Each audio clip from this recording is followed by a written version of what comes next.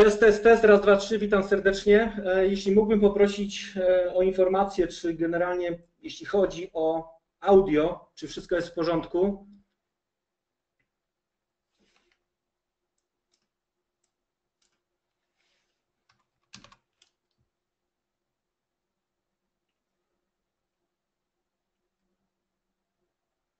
Dzięki Piotrze, witam serdecznie. No to dobra, mamy około minuty 20 sekund, poczekamy, poczekamy jeszcze na, na kilka osób i będziemy sobie startowali naszą sesję.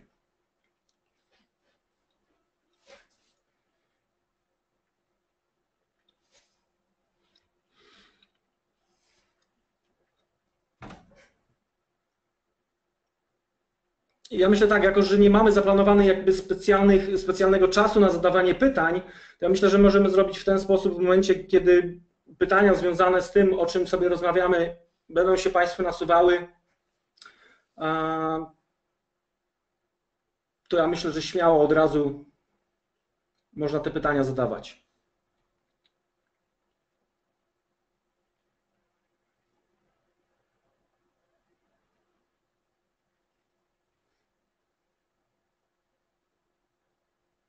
OK, myślę, że możemy powoli startować.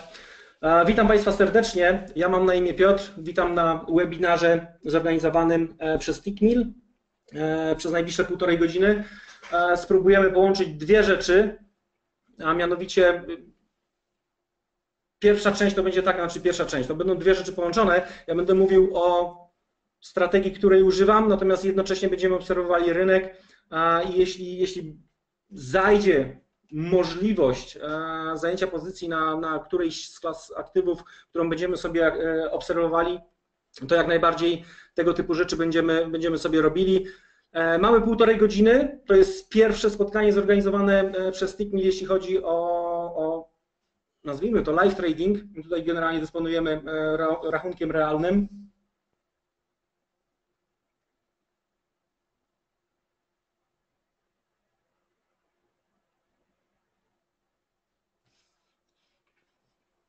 Także e, tutaj w tej kwestii, e, w tej kwestii jak najbardziej, jeśli dokonamy jakiejś transakcji, to jeśli będzie ona zyskowna, to będzie zyskowna, jeśli złapie nas stop loss, to, to złapie nas stop loss.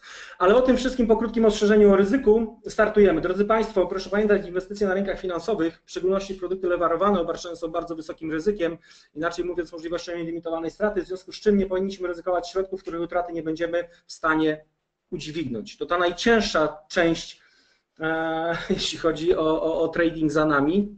Dosłownie dwa słowa, dwa słowa ode mnie. Jeśli chodzi o wykresy, to ja spoglądam sobie na te wykresy. Można powiedzieć, że 17 lat, tyle tylko, że to nie jest tak, że od 17 lat hula i dusza i same, same pozytywne rzeczy, jeśli chodzi o rynek walutowy. Dość sporo czasu zajęło mi ogarnięcie tematu, e, bez dwóch zdań. Tyle tylko, że chyba teraz jest odrobinę łatwiej ze względu na, ze względu na dostępność materiałów. Jak ja startowałem, to myślałem, że kwestia przełożenia E, informacji, o których miałem pojęcie z jakichś książek wystarczy i tak dalej. Później była kwestia, e, miałem możliwość e, pracy na trading desku, zobaczenia, zobaczenia jak, jeśli chodzi o rynek walutowy, jak to wygląda odrobinę od środka. Od ponad 4 lat współpracuję z takim niewielkim funduszem familijnym. Także myślę, że kwestie, które będziemy poruszali, myślę i wierzę, E, że będą użyteczne. Dobra rzecz jest taka, e, pozytywna rzecz jest taka, że nie spotykamy się tutaj ze względu na to, żebym chciał Państwu coś, coś sprzedać. E, trochę mniej pozytywna jest taka, że jeśli rozmawiamy o Forexie, to naprawdę kwestia poświęcenia odrobiny czasu na to i jest to zajęcie mimo wszystko, mimo wszystko ciężkie. Także to, to nie jest tak, że siadamy przed, przed monitorem i, i w tydzień robimy 40% za każdym razem. E, nie chciałbym powiedzieć, że nie jest to możliwe, natomiast e, utrzymanie tego e, w jakimś średnim terminie praktycznie rzecz biorąc graniczy z cudem. Jeśli są wyjątki, to one będą tylko i wyłącznie potwierdzały reguły, o której w tej chwili powiedziałem. Rzeczy, o których będziemy sobie rozmawiali, to rzeczy związane z tym, z moim podejściem do rynku, a mianowicie kwestie kwestie tak zwanych e, potencjalnych stref popytu i podaży e, oraz potencjalnych manipulacji ze strony market makerów, dostawców płynności. I tutaj jeśli będziemy używali słowa market maker czy dostawca płynności, to ja nie mam na myśli, ja nie mam na myśli, nie wiem, małych brokerów, tak detalicznych, mam na myśli tych, którzy gdzieś tam na końcu tego wszystkiego są, czyli na przykład Deutsche Bank i tak dalej, i tak dalej. E, nie jest moją intencją próba e, przekonania wszystkich, że to jest e, tylko i wyłącznie najlepsza metoda na trading.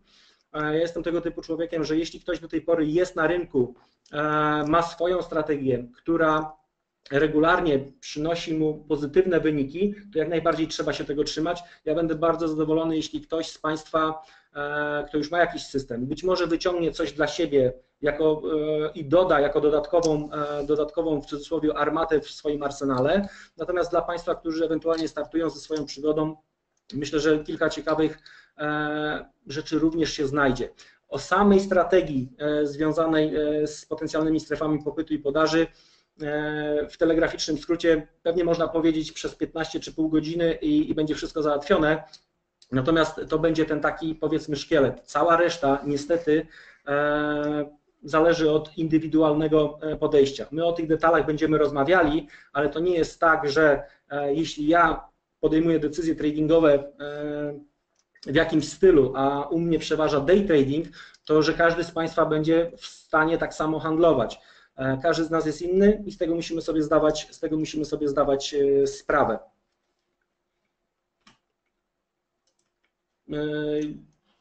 Szybkie wyjaśnienie na samym początku ja od dłuższego czasu, w zależności od horyzontu czasowego, e, na wykresie, z którego korzystam, używam tych samych e, kolorów, jak zobaczycie dziś, nie wiem, na przykład na Forex Clubie e, wykres mój, czy, czy, czy którejś z nagrań, to te kolory są takie same. I teraz, żeby szybko ten temat zamknąć, to tak, jeśli chodzi o wykres miesięczny,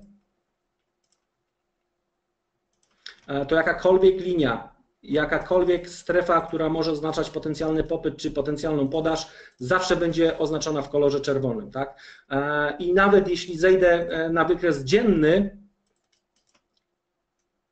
jeśli zejdę na wykres dzienny,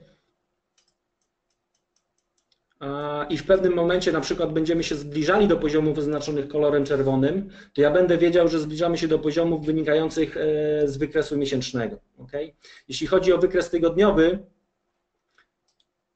to wykresem, e, to kolorem, który dominuje na wykresie e, tygodniowym jest kolor niebieski. W związku z czym, nawet jeśli będę na wykresie, nie wiem czy będzie widać, jeśli będę na wykresie krótkoterminowym, na przykład z tygodniowego zejdę na dzienny czy na 4 godzinny, zobaczę kolor niebieski, wiem, że te strefy, te poziomy mają odniesienie e, do wykresu, do horyzontu czasowego e, tygodniowego. Tak? Kolor zielony to wszystko, co związane z wykresem dziennym. E, tak jak mówię, zarówno boksy oznaczające potencjalne strefy popytu i podaży, jak i na przykład, jak i na przykład linie trendu. Okay? W kolorze zielonym oznaczają odniesienie do, do dziennego wykresu wszystko, co będzie w kolorze żółtym, ewentualnie w kolorze czarnego pomarańczu, czarny pomarańcz, żółty, wszystko ma odniesienie do wykresów intraday. E, rzadko korzystam, rzadko korzystam z 4 godzin, jeśli już z dziennego schodzę na godzinę, z godziny schodzę e, rzadko kiedy na 30 albo 15, jak już to schodzę na 5 albo minutę, i nawet robiąc analizę z wyższego horyzontu, e, kwestie związane z day tradingiem pozwalają mi wyznaczyć miejsca i coraz niższy horyzont czasowy zawęża mi e, ewentualnie pole działania. Najlepiej, jeśli e, mamy strefę popytową na przykład na wykresie dziennym i w ramach, w ramach tej strefy popytowej z wykresu dziennego pokrywa nam się tam wewnątrz tej strefy znajduje się strefa popytowa na przykład intraday. Tak? Kwestię kolorów mamy ogarniętą. Chodzi o to, żeby ktoś nie pomyślał, e, że rysujemy sobie tutaj tęczę, wszystkie kolory, każdy kolor ma swoje znaczenie e, i tak do tego, tak do tego podchodzę. Kiedyś ktoś mi powiedział, e, Piotrek, dobrze, że przyszedłem na Twój webinar, bo kwestia kolorów bardzo ułatwiła mi sprawę, tak? Czyli może nie wyciągnął niczego odnośnie strategii, natomiast samo rozróżnienie kolorów żeby ogarnąć tematy, e, bardzo mu pomogło. To taka, taka ciekawostka. Kolory mamy ogarnięte, w związku z czym w, w jakby w ekspresowym tempie generalnie Europa ruszyła i tutaj za chwilę sobie popatrzymy na wykresy. Natomiast musimy, musimy ogarnąć przynajmniej kwestię podstaw. Reszta będzie wychodziła nam w praniu, zwłaszcza w momencie, kiedy ewentualnie jakieś decyzje tradingowe będą podejmowane. Jeśli chodzi o, w takim razie, jeśli chodzi o kręgosłup strategii, e, którą się posługuję, e, to jeśli mógłbym zapytać, jeśli są osoby, które, które e, mogłyby mi na czacie potwierdzić tak czy nie, jeśli chodzi o to, czy korzystały z, z potencjalnych stref popytu i podaży, to byłbym, byłbym wdzięczny. Tak? Krótkie tak albo nie i, i będzie w porządku, a ja w tym czasie rozpocznę, ja w tym czasie rozpocznę no, tłumaczenie tak, tego, jak to, e, jak to wygląda z mojej perspektywy. E, jeśli chodzi o podstawy potencjalnych stref popytu i podaży, to są cztery, e, cztery podstawowe układy.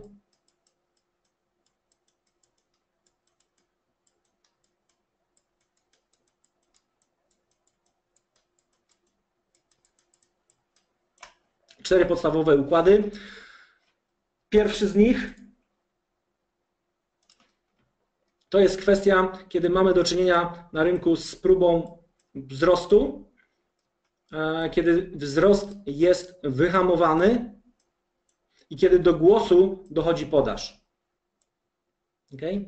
Istotne w tym układzie, w tym układzie istotne jest to, że dla mnie e, uaktywnienie tej strefy podażowej następuje dopiero w momencie, pokonania ostatniego popytu. Okay? W wielu opracowaniach, e, w wielu, mm, na wielu e, filmach, jeśli chodzi o, o, o nagrania związane z potencjalnymi strefami popytu i podaży, no niestety nie wszyscy zwracają na to, e, na to uwagę. Tak? Natomiast wybicie tego popytu potwierdza, aktywuje tą podaż na górze. I dla mnie wtedy ewentualnie próba powrotu w to miejsce wiąże się z decyzją e, o ewentualnym zajęciu, e, zajęciu krótkich, e, krótkich pozycji. Co do ryzyka, za chwilę sobie też krótko będziemy o tym mówili, natomiast skończmy kwestie związane, skończmy kwestie związane z czterema podstawowymi układami. Kwestia związana z popytem wygląda bardzo podobnie z potencjalnym popytem. E, ja swojego czasu, ja jestem, jeśli chodzi o potencjalne strefy popytu i podaży, jestem z tym, jeśli można tak to nazwać, związany od 2009 roku. Od 2011 gdzieś tam zacząłem jakieś nagrania, także tutaj kwestie związane z jakimiś archiwami są gdzieś tam również, jak Państwo będą szukali na YouTubie, dostępne.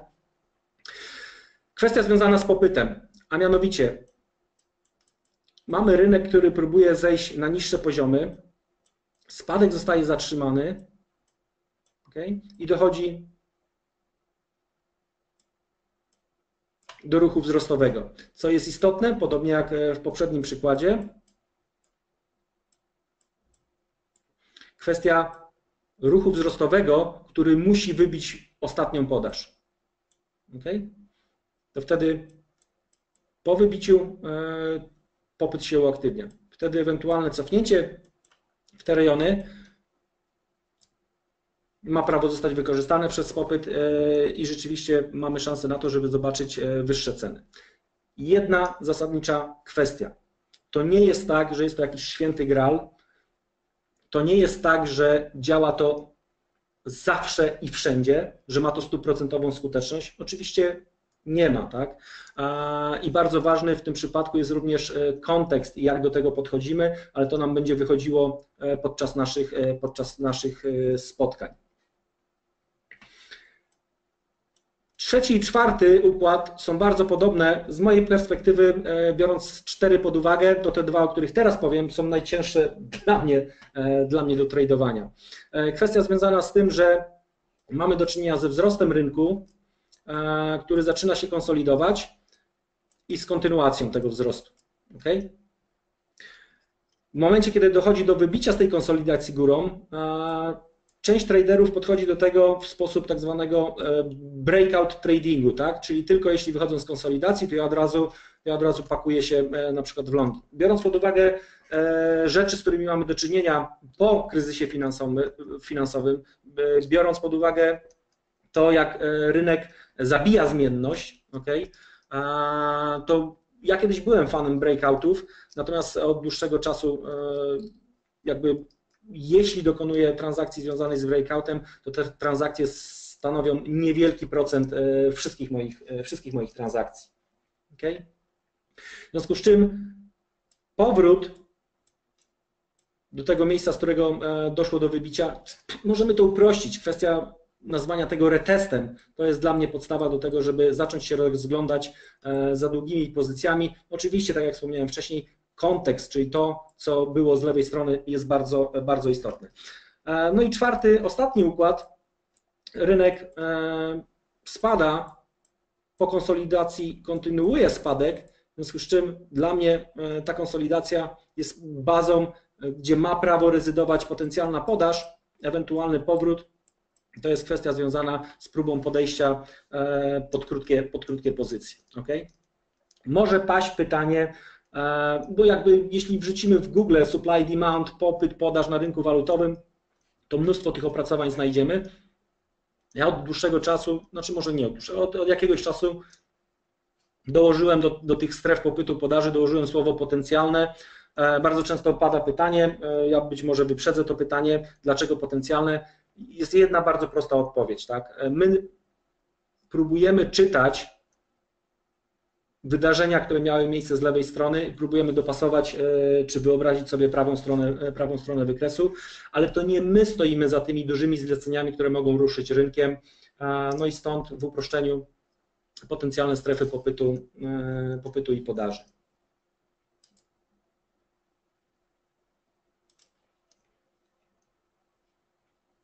Jeden moment, bym chciał zobaczyć, czy e, Państwo mogą zadawać pytania. Państwo mogą zadawać pytania. W związku z czym, jeśli e, na ten moment e, do tego, o czym sobie powiedzieliśmy, jeśli tutaj są pytania, to bardzo proszę. Na okno czatu chyba jest do Państwa dyspozycji. Z tego co widzę. A ja sobie będę spoglądał. Jeśli będą pytania, to będę w miarę szybko starał się, w miarę szybko starał się odpowiadać. Teraz tak jak wspomniałem, nie jest to żaden święty graal. Bardzo istotna rzecz e, jest taka, kiedy rozpatrujemy potencjalny popyt czy potencjalną podaż, bardzo istotna rzecz, e, co miało miejsce z lewej strony, okay? bo ja sobie potrzebuję wyobrazić e, wtedy prawą stronę wykresu. I niestety, ja wiem, że to czasami może powodować, powodować, nie wiem, falę krytyki nawet, ale ja jestem fanem budowy scenariusza nawet jeśli moje nastawienie jest prowzrostowe, e, to jestem fanem budowy scenariusza zarówno prowzrostowego, jak i prospadkowego, tak? E, czyli albo to, albo to. E, I, i spotkałem, się, spotkałem się z uwagami typu, no dobra, czyli tak naprawdę chcesz mi powiedzieć, że może albo zyskać, albo spaść, to tyle to i ja wiem. Ale taka jest prawda. Ale taka jest prawda, bo ja nie mam pojęcia, ja nie mogę się w 100% nastawić na jedną stronę rynku, bo jak rynek zacznie robić co innego, ok, to ja będę zmrożony i nie będę w stanie zareagować e, na to, co się dzieje w drugą stronę. Także no tutaj, e, tutaj jestem fanem na zasadzie takiej, że e, jeśli dojdzie do takiego czy takiego wydarzenia, no to mamy szansę na kontynuację wzrostów. Jeśli dojdzie do takiego czy takiego wydarzenia, to mamy szansę na, na nie wiem, odwrócenie, na spadek, na kontynuację spadków. I tak do tego podchodzę. Prawda jest tego typu, że e, próba, próba analizy rynku z perspektywy, nie wiem, najbliższych trzech miesięcy, no to umówmy się, że to jest e, po części wróżenie, wróżenie z fusów, dlatego ja preferuję day trading. Od momentu, i teraz dlaczego day trading? Od momentu, kiedy e, zmienność zostaje mordowana, że się tak wyrażę, po kryzysie finansowym, E, to w zależności od, od, naszego podejścia. Moje podejście jest takie, że oprócz tego, że jeśli wyrysuję sobie scenariusz a, i dojeżdżamy do poziomu, w którym jestem zainteresowany, to u mnie z perspektywy tak zwanego R, czyli potencjalnego e, zysku do ryzyka, e, wyjściowo, oczywiście życie to za każdym razem weryfikuje, ale wyjściowo musi być 3R, tak? Bo jakby tutaj matematyka ma być po mojej stronie również. Tyle tytułem wstępu. W związku z tym, że wiemy, w jakim miejscu e, jesteśmy, co będziemy sobie omawiali, to spróbujmy przejść powoli, e, powoli do wykresów.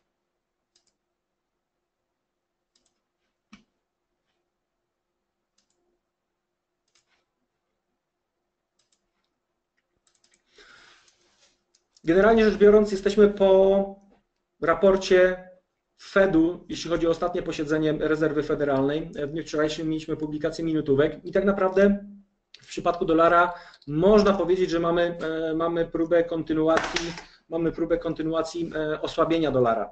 Jedna rzecz, na którą chciałbym zwrócić uwagę e, i o tym będziemy sobie podczas omawiania tych wykresów w dniu dzisiejszym, Jedną rzecz, na którą chciałbym zwrócić uwagę, to jest publikacja jutrzejszych danych, a mianowicie kwestia związana z inflacją po stronie e, konsumentów. E, to, czego brakuje w tej całej układance, jeśli chodzi o dolara, bo mamy bardzo jastrzębi Fed, natomiast Fed może być bardzo jastrzębi ze względu na to, co się dzieje z dolarem, to to jest inna sprawa. E, natomiast brakuje w tej układance, jeśli chodzi o dolara, kwestii związanej z inflacją. Przewidywania co do jutrzejszych danych są bardzo, bardzo mocne. I teraz kwestia podejścia do euro-dolara. E, według mnie, jeśli założenie, które zrobimy sobie za chwilę, kwestia, e, że w ostatnim czasie mieliśmy e, wyjście dołem z zaznaczonej tutaj konsolidacji, ok? A jeśli wychodzimy z konsolidacji w którymś kierunku, to istnieje prawdopodobieństwo, że osiągniemy ten sam poziom, w tym wypadku do spodu, okay? to wygląda na to, że dół nie został osiągnięty, jeśli chodzi o euro-dolara. To teraz kwestie, jeśli część z Państwa e, szuka pomysłu ewentualnie na krótką stronę rynku, to wydaje się, że po, powinniśmy, czy mamy szansę dostać odpowiedź w ciągu najbliższych e, 24-36 godzin, jeśli chodzi o dolara, e, no bo wracamy od spodu do poziomu wybitej, e, wybitej konsolidacji, w związku z czym gdzieś na tych poziomach istnieje prawdopodobieństwo, że jeśli wystarczy kasy, to podaż będzie próbowała, e, próbowała za, zaatakować. Tak? I tutaj jednym z takich poziomów, w przypadku którego byś, jeśli byśmy docierali, to, będzie, to będą okolice 50%, 50% e, tej e, zmienności, na które będę zwracał uwagę. ok?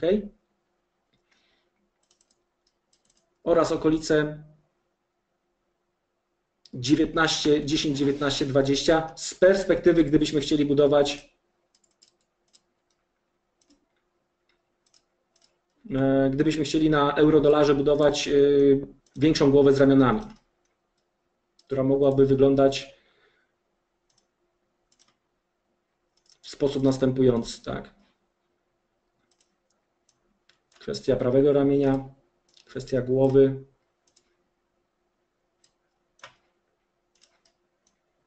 I pytanie, jak się będziemy zachowywali w okolicach 19, 19.10 e, i później w okolicach 19.50, 19.70.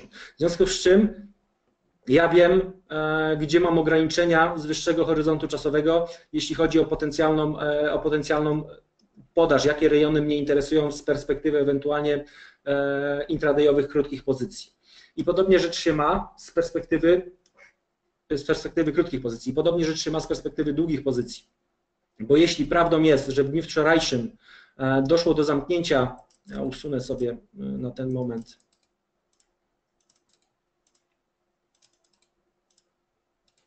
E, tą potencjalną głowę z ramionami. Jeśli prawdą jest, że w dniu wczorajszym doszło do zamknięcia i powrotu do wnętrza, do wnętrza tej konsolidacji, ok, e, no to istnieje prawdopodobieństwo, że w pewnym momencie tradujący na spadek wartości na eurodolarze powiedzą OK, wracamy do starej zmienności, może się okazać, że góra ma prawo zostać przetestowana przynajmniej na zasadzie że pojedziemy, jeśli to są tylko na dole, były tylko i wyłącznie stopy, no to w pewnym momencie stopy na górze będą miały prawo e, być brane pod uwagę. Za chwilę więcej o tym z perspektywy wyższego horyzontu czasowego.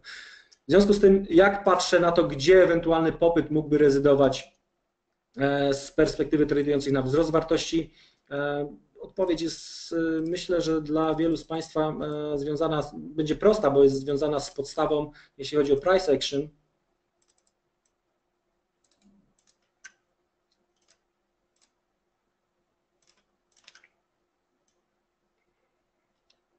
Musimy tu odrobinę zmienić kolor limonkowy.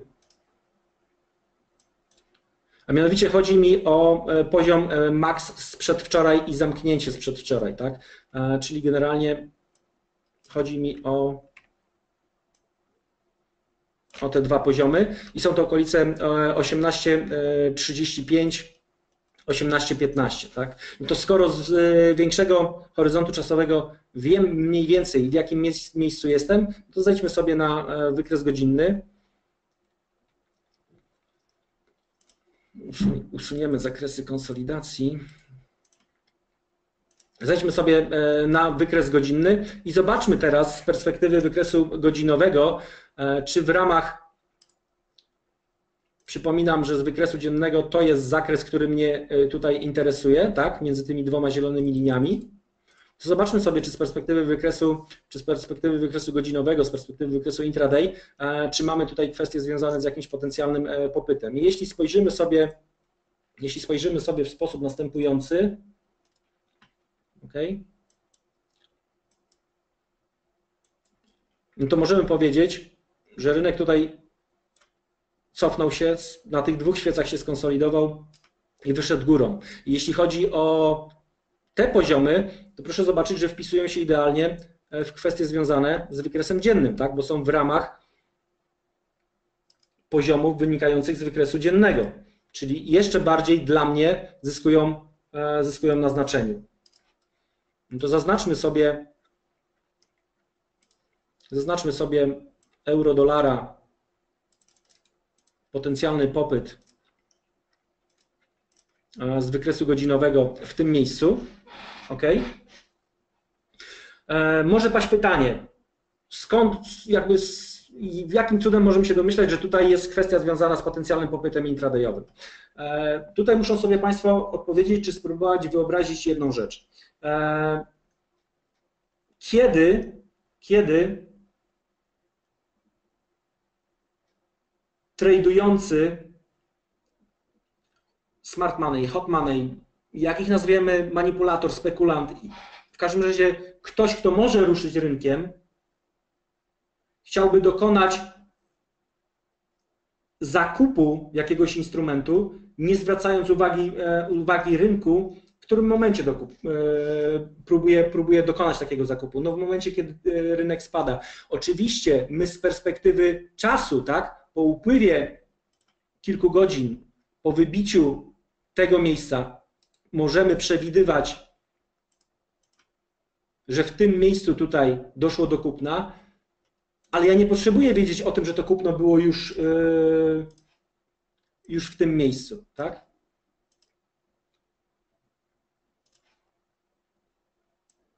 Mi wystarczy, jak wiem po wybiciu tej góry tutaj, że wiem, że tutaj było kupno, bo teraz ewentualnie kwestia cofnięcia do tych poziomów raz, że wynikają one z wykresu dziennego, dwa, że z wykresu godzinowego, no to dla mnie te poziomy są już interesujące z perspektywy ewentualnie długich pozycji i kontynuacji e, ewentualnie wzrostu na euro-dolarze. Tak? To, co robię dodatkowo, po tym jak wyznaczyłem sobie potencjalny popyt e, w ramach wykresu godzinowego, i on jest tutaj dość szeroki, bo to jest e, w okolicach 35 pipsów, a ja jako day trader przy podejściu 3R chcą wyryzykować 35 pipsów, tak, musiałbym celować w 105 minimum. Okay?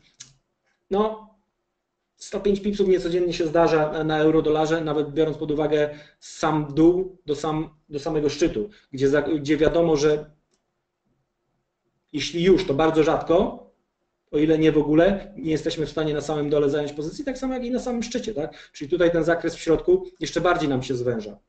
W związku z tym e, od dłuższego czasu ja preferuję to, o czym wspomniałem, schodzenie na niższe poziomy e, czasowe i próbę dopasowania e, jak najwyższego poziomu wejścia i dystansu do stop lossa, tak żeby jak najszybciej z perspektywy, e, z perspektywy oczywiście jakby realnego podejścia do wykresu, jak najszybciej móc osiągnąć 3R i więcej. I teraz kwestia jest tego typu, że ja chciałbym na tym rynku być jak najkrócej, od momentu, kiedy pozycja jest otwarta, chciałbym na tym rynku być jak najkrócej. To kiedy będę najkrócej na rynku? Kiedy mój stop będzie miał 35 pipsów i będę celował w 105, czy kiedy będę, mój stop będzie miał, nie wiem, 8-12 pipsów i będę celował e, w 24-36? Oczywiście wiadomo, że opcja numer dwa e, jest prawidłowa, a dlaczego chcę być jak najkrócej, e, jak chcę być jak najkrócej na rynku? Po pierwsze, to o czym wspomniałem, zabijanie zmienności. Po drugie, e, ok, my mamy kalendarz, e, możemy przewidywać wydarzenia związane z kalendarzem, natomiast nie, nie, możemy przewidzieć e, sytuacji związanej, nie wiem, e, z testem rakiet przez Koreę Północną, z jakimś dziwnym wystąpieniem przedstawicieli Europejskiego Banku Centralnego, którzy są niezadowoleni z obecnych kwotowań na euro-dolarze i tak dalej, i tak dalej, co w moim przypadku, kiedy mam bardzo wąskie stopy, od razu naraża mnie na to, e, że zostanę bardzo szybko, bardzo szybko wyrzucony. Ale stąd jakby kwestia matematyki, kwestia 3R, tak? Bo w przypadku 3R E, to w prostym przykładzie, to życie za każdym razem weryfikuje, ale w prostym przykładzie 3-4 e, razy na 10 wystarczy, żebym był e, po dobrej stronie rynku i cały czas jestem, cały czas jestem w plusie, tak? Ale o tym sobie będziemy, o tym sobie będziemy w międzyczasie rozmawiali. Kończmy, kończmy euro-dolara. Schodzimy w takim razie na niższy horyzont czasowy.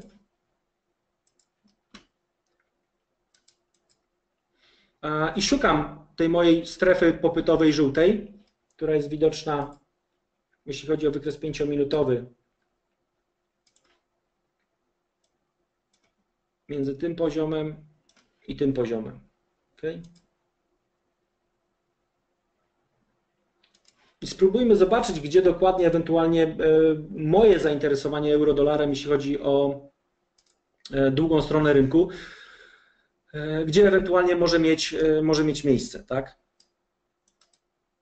Jeśli sobie popatrzymy, jeśli sobie popatrzymy na sekwencję tego, z czym mieliśmy e, do czynienia ewentualnie, ewentualnie tutaj, tak? no to ostatnie, ostatnie miejsce prawdopodobnego popytu, biorąc najpierw tą sekwencję, którą Państwu wyrysowałem, było w tym miejscu. Tak? Wzrost kwestia cofnięcia. Tyle tylko, że rynek nie respektował tego miejsca i tu mamy punkt decyzyjny, który wyrzucał nas na niższe poziomy, tak? Ale co się stało? E, w tym momencie, w tym momencie, kiedy wybijamy popyt, wiadomo, że na, na tym poziomie z automatu druga strona powinna, e, powinna dominować. Przez chwilę czasu, jak widać tutaj, kwestie związane z tymi poziomami rzeczywiście odgrywały znaczenie, po czym kolejny raz doszło do e, ewentualnego wybicia górą. W związku z czym sekwencja, która mnie interesuje w ramach wykresu 5-minutowego, ok, to jest ten spadek, to jest to wyjście, to jest to wyjście górą. Od momentu wybicia, od momentu wybicia tej e, podaży tym ruchem, tak, aż do spodu. Czyli co ja jestem w stanie zrobić w ramach wykresu dziennego? Mam strefę popytową wynikającą z, wykre... mam strefę popytową wynikającą z wykresu godzinowego, a w ramach e, strefy wynikającej z wykresu godzinowego mam strefę wynikającą z wykresu e, pięciominutowego, tak? Czyli ja jestem w stanie sobie ewentualnie mm, zawęzić te poziomy i zamiast, zamiast, 30, zamiast 35 pipsów robi mi się 25 pipsów, tak? Nie ma dla mnie żadnego problemu zejścia na wykres minutowy i ja wiem, że są, ja wiem, że są e, dwie strony. Te, które e, jedna strona mówi, że na wykresie minutowym e, jest nic innego jak bałagan, a i druga strona, która, która preferuje wykres, wykres minutowy. Teraz dla niezdecydowanych, tych, którzy, nie wiem, nie próbowali, a, a zwłaszcza jeśli są tutaj osoby, które zajmują się day tradingiem, to ja myślę, że ja jestem w stanie to wyjdzie nam, myślę, w praniu również, e, jestem w stanie, jestem w stanie pokazać, czy, czy, czy rzeczywiście przedstawić kwestie związane z tym, że na wykresie minutowym panuje porządek.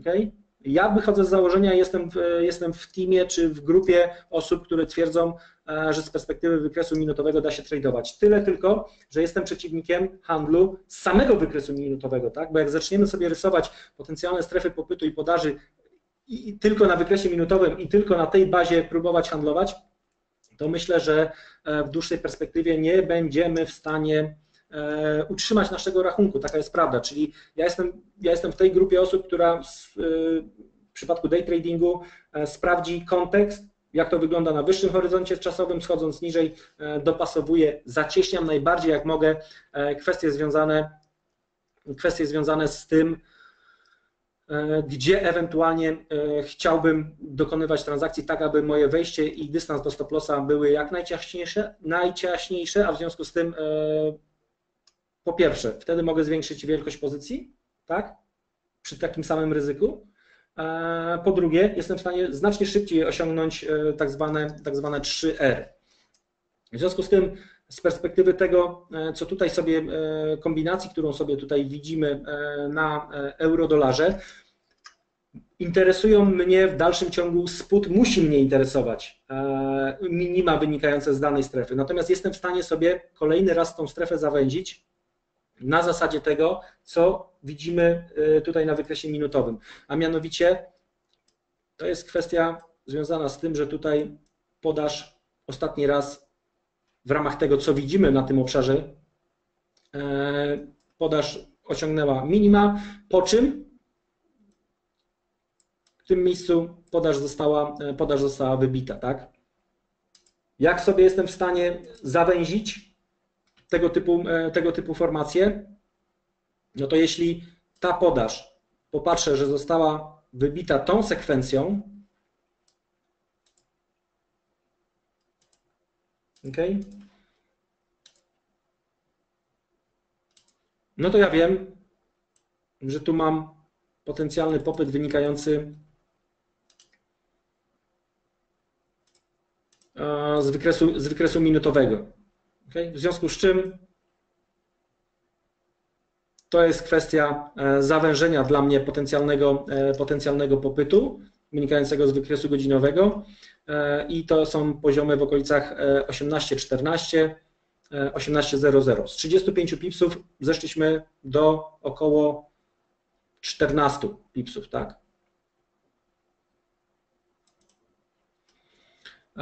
I tak to, tak to z perspektywy euro-dolara, jeśli chodzi o ewentualnie długie pozycje, tak to wyjściowo u mnie wygląda.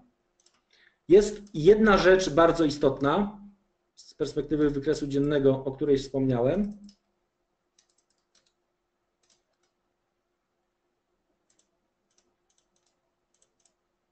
Okay.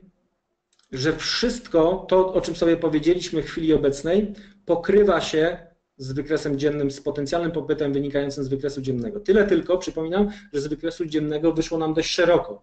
Natomiast schodząc na coraz niższe horyzonty czasowe, e, zwęziliśmy to do 15 pipsów, 14 pipsów, w związku z czym znacznie łatwiej będzie wyjść z stopem 14-pipsowym i próbować targetować 42-50 pipsy, niż wyjść e, z 35-pipsowym i targetować, e, i targetować ponad setkę, tak? zwłaszcza w przypadku day tradingu. Takim razie y, sprawdzamy od góry, z czym mamy do czynienia. Sprawdzamy okolice 19,10, 19,68, jeśli chodzi o euro-dolara. Zrzućmy okiem, czy coś na innych parach. E, złoto bardzo ciekawie wygląda i o złocie za chwilę sobie powiemy, natomiast na DAX-ie, przynajmniej na ten moment w przypadku DAX-a, e, jedna wielka e, konsolidacja. Pytanie otwarte, czy mamy do czynienia z dystrybucją, czy, czy reakumulacją. Za chwilę o tym będziemy sobie również próbowali, próbowali rozmawiać.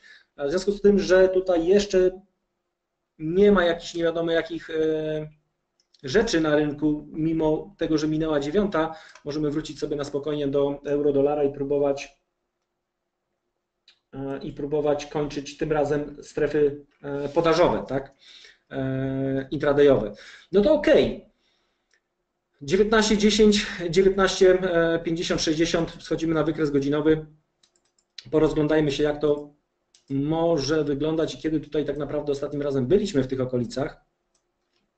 Jeśli chodzi o okolice 19.10, Okay? I to widzimy, że tutaj jest kwestia związana, kwestia związana z luką. Parę rzeczy, parę rzeczy jest tutaj widocznych z perspektywy wykresu, z perspektywy wykresu intraday, za chwilę o tym będziemy sobie mówili. W związku z czym, jeśli chodzi o 19.10, to wydaje się,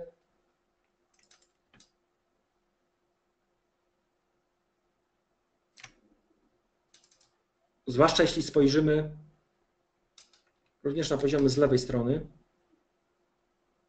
okay, to wydaje się, że odrobinę powyżej poziomu 19.10 w okolicach 19 17, 1936 mamy szansę, e, mamy szansę e,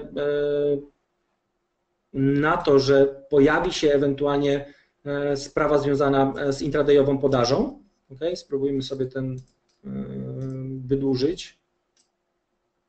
Boksik. Okay. Jaki jest, jaki jest tutaj, jaki jest tutaj i czy jest tutaj kwestia związana, kwestia związana z problemem? Dla mnie jest kwestia próby domknięcia luki. Okay? No i tu jest e, kwestia dyskusyjna, tak? A jeśli mam kwestię dyskusyjną, no to zaczynałbym się zastanawiać, bo według mnie rynek może spróbować poszukać e, tylko i wyłącznie stop lossów tym miejscu.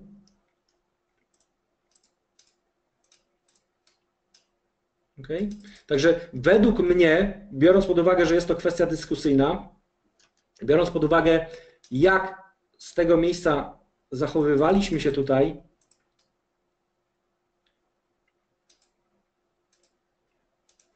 na wykresie godzinowym. Okay. To ja byłbym w stanie przyjąć tutaj e, kwestię, która może być uważana za tak zwaną e, ewentualnie manipulację. Do czego zmierzam? Skoro z tego miejsca e, mieliśmy znaczący, można powiedzieć, ruch w dół, bo to był ruch o około dwie figury. Okay. Jeśli wiem, że kwestie związane z luką mają prawo tutaj być niedokończone, to być może, być może manipulanci zaproszą na przykład breakout traderów do tego, żeby spróbować wyjść powyżej 19.30 i załatwią, i tutaj manipulanci ewentualnie, e, jeśli ich nastawienie będzie na spadek wartości, załatwią dwie rzeczy. A mianowicie, jeśli są tutaj shorty, pozostały jakieś shorty z tych poziomów, no to ich stopy są zapewne w okolicach, e, w okolicach wejścia na rynek. Tak? Czyli jeśli my tradujemy w jedną stronę, to żeby dostać od dostawcy płynności pozycję, no to on musi być e, po przeciwnej stronie. Tak? Jeśli mówimy o tych dużych dostawcach płynności typu na przykład, nie wiem, Deutsche Bank, okay? E, no to jeśli tutaj, jeśli tutaj cały rynek, cały rynek sprzedawał, ok, no to prawdopodobnie Deutsche Bank mógł tutaj e, próbować się odwracać na tych ewentualnie niewielkich e, podbitkach, tak? Zakładam, zakładam, tego nie wiem, nie siedzę na desku w Deutsche Banku na przykład. Do czego zmierzam? Na czym, polega, na czym polega manipulacja? Bo to będzie dość istotne z perspektywy potencjalnych stref popytu i podaży, zwłaszcza jeśli dobrze będziemy w stanie e, przeczytać e, ich potencjalne zachowanie. W związku z czym, że ten biznes tutaj z, tą luką według mnie jest niedokończony, okay, to rzeczy, rzeczy, na które zwróciłbym uwagę w przypadku euro-dolara, e, będzie dobrze widoczne na wykresie. Zawsze patrzymy na to, co się działo z lewej strony. W związku z czym ja bym poczekał i tak, takie będzie moje podejście.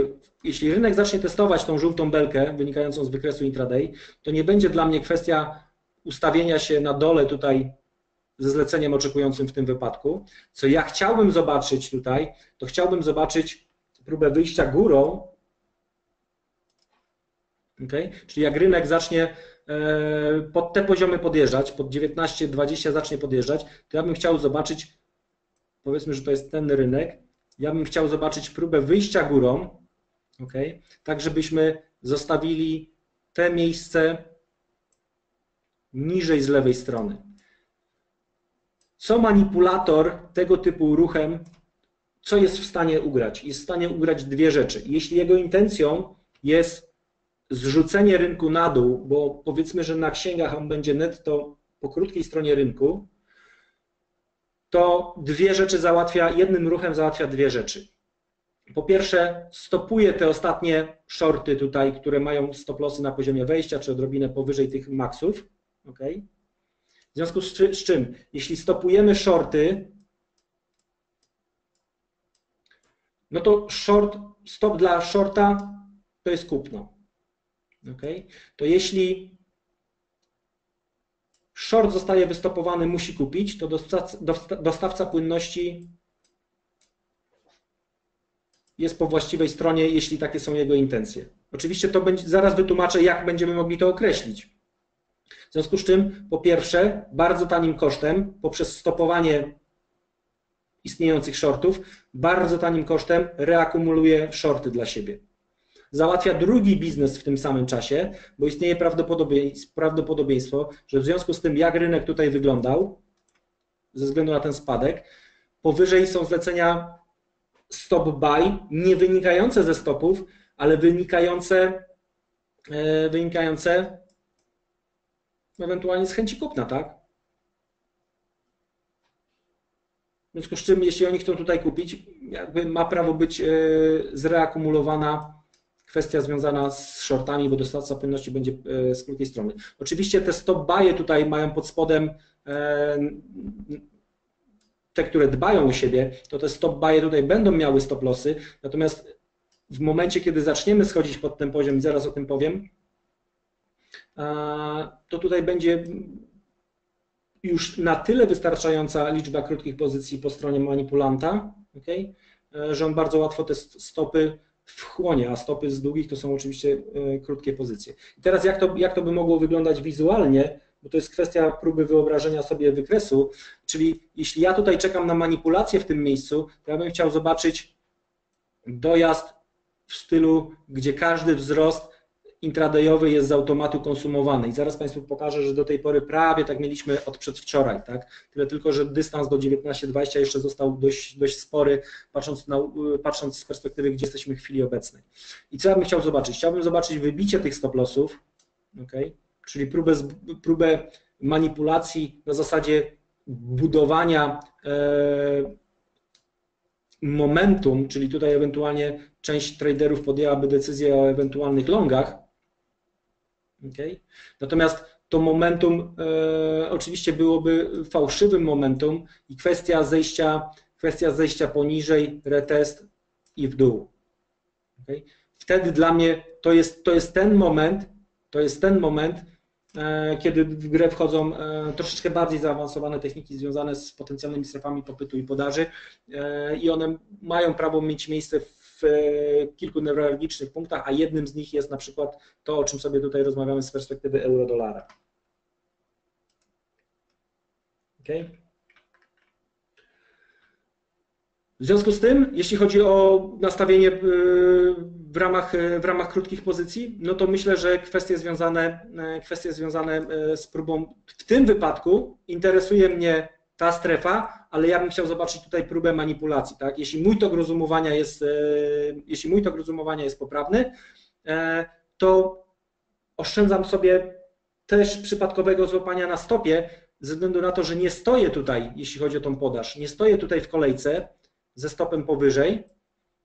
Ja chcę zobaczyć najpierw właśnie w tym miejscu stopowanie, zanegowanie, retest i kontynuacja, e, kontynuacja do, do spodu. Okay? Mam nadzieję, że, mam nadzieję, że e, ma to ręce, e, ręce i nogi. Zwłaszcza, że, że wielu traderów będzie miało prawo zostać złapanych tutaj w pułapkę. I zanim podejmą decyzję o ucieczce, to my będziemy, będziemy mieli prawo być znacznie, znacznie niżej.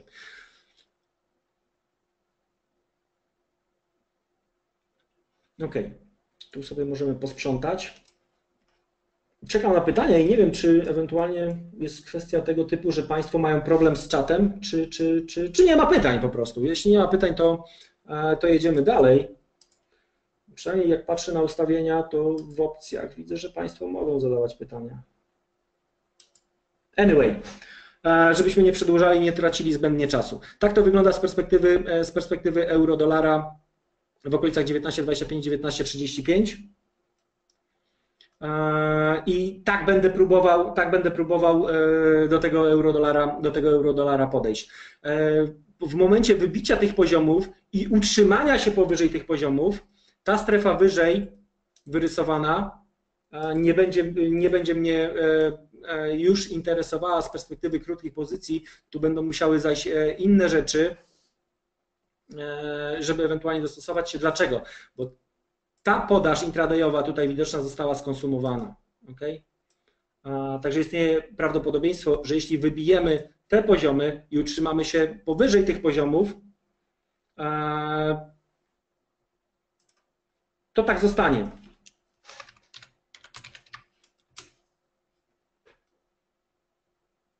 Ok?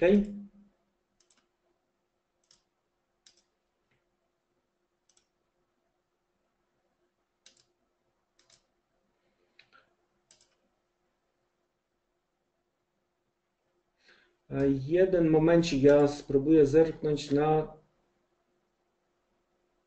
ustawienia E, no, uczestnicy, uczestnicy mogą zadawać pytania, także myślę, że Państwo mogą zadawać pytania. Kwestia, że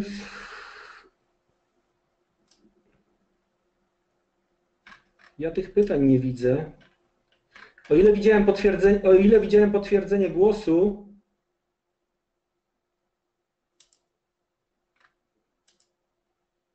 e, o ile widziałem potwierdzenie głosu, e, dzięki, dzięki za, za E, dobra, już widzę tutaj w zakładce pytania.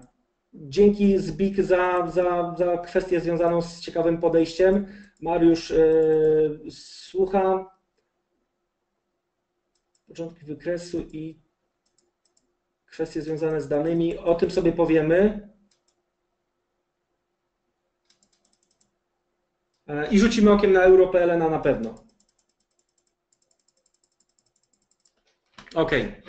Już ogarnąłem temat związany z tym, gdzie mam szukać Państwa pytań. Przepraszam.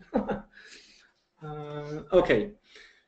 Czyli kwestia euro-dolara, tak naprawdę możemy powiedzieć, że mamy załatwioną. Jest kwestia uzbrojenia się w cierpliwość i jeśli nic się na euro-dolarze nie dzieje, no to właśnie mamy możliwość e, tego, aby przejść e, po prostu do kolejnych instrumentów. Niech nam euro-dolar sobie tutaj mm, działa. Było pytanie o EuroPLN-a, w związku z czym zerknijmy na EuroPLN-a. Ja sprawdzałem EuroPLN-a w dniu wczorajszym.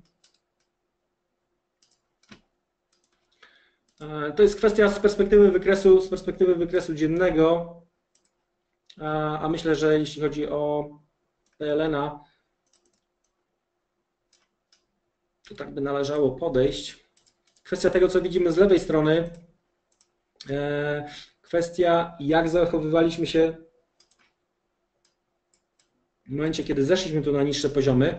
Ja akurat osobiście na e, PLN można powiedzieć, że w ogóle nie handluję z perspektywy day tradingu. Natomiast z czym mamy do czynienia? Mamy do czynienia kilka dni temu z testem, tak? czyli po tym jak ukształtowała się ta strefa podażowa, no to dojechaliśmy do tej podaży i rzeczywiście możemy mówić o reakcji. Kwestia z tym, jak dojeżdżaliśmy do tej, do tej podaży, bo tutaj e, z perspektywy wykresu dziennego możemy mówić ze względu na wybicie e, szczytu,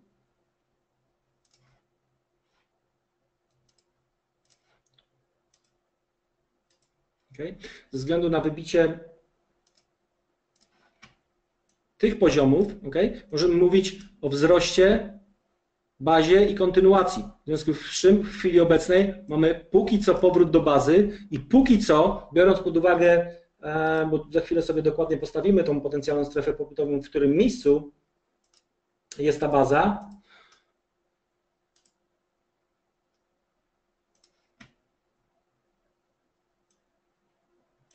Okay. Czyli kwestia spadku, ostatnia świeca, wyjście do góry, czyli w tym miejscu, jeśli prawdą jest to, o czym mówiliśmy, że duży chcący ukryć kupno e, będzie je ukrywał na spadającej świecy, tak?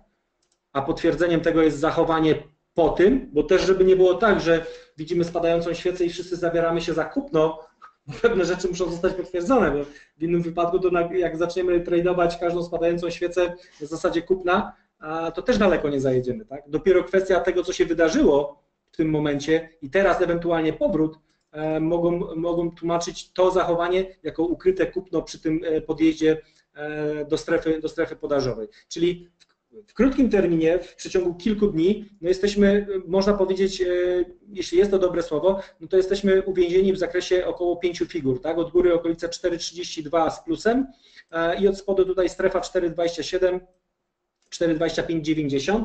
A zerknijmy z perspektywy, akurat y, w przypadku EuroPLN to prawdopodobnie ciężko będzie zejść na wykres minutowy. E, ciężko będzie zejść na wykres minutowy, natomiast e, jak najbardziej możemy zejść i zobaczyć, jak sytuacja wygląda na wykresie, e, na wykresie godzinowym. I czy coś nam się klaruje w ramach poziomów, o których sobie wspomnieliśmy.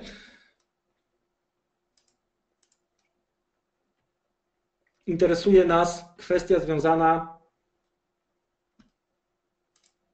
e, z tymi poziomami, tak, wynikającymi z wykresu dziennego. Ściągniemy sobie tło.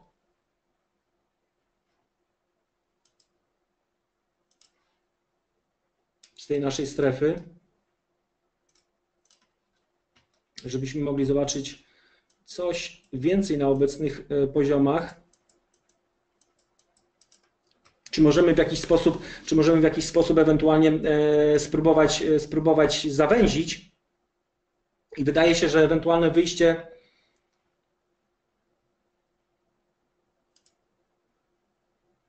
Wydaje się, że ewentualne wyjście górą z tego cienia, czyli niewiele nam to, niewiele nam to daje, tak? E, tyle tylko, że intradayowo było, były, te poziomy, były te poziomy testowane, w związku z czym co my sobie zrobimy z perspektywy wykresu intraday chodzi mi chodzi mi o ten o ten cień, tak? Jeszcze bardziej szeroko. Chodzi mi o tą, o tą kombinację tutaj. Okay? Bo w momencie, kiedy, w momencie, kiedy uporaliśmy się z tą kombinacją, to te dołki od tej pory były bezpieczne. Tak? No to możemy, zawęziliśmy sobie, zawęziliśmy sobie tą naszą kombinację w przypadku e, EuroPLN-a odrobinę. Zobaczmy, jak to wygląda sytuacja w chwili obecnej e, intraday na EuroPLN-ie. No na ten moment jest reakcja, tak? Przynajmniej tyle, że E, że jest y, na ten moment y, y, jest reakcja. Co nam potrzeba, co nam potrzeba intradayowo? E, jaka rzecz musiałaby się wydarzyć intradayowo, żeby e, ewentualnie odrobinę potwierdzić kwestię przewagi w tej chwili kupujących wynikającą z tej strefy popytowej? Kwestia, kwestia wyjścia powyżej, już to będzie lepiej widoczne. Kwestia wyjścia powyżej e, intradayowej podaży, tak? O.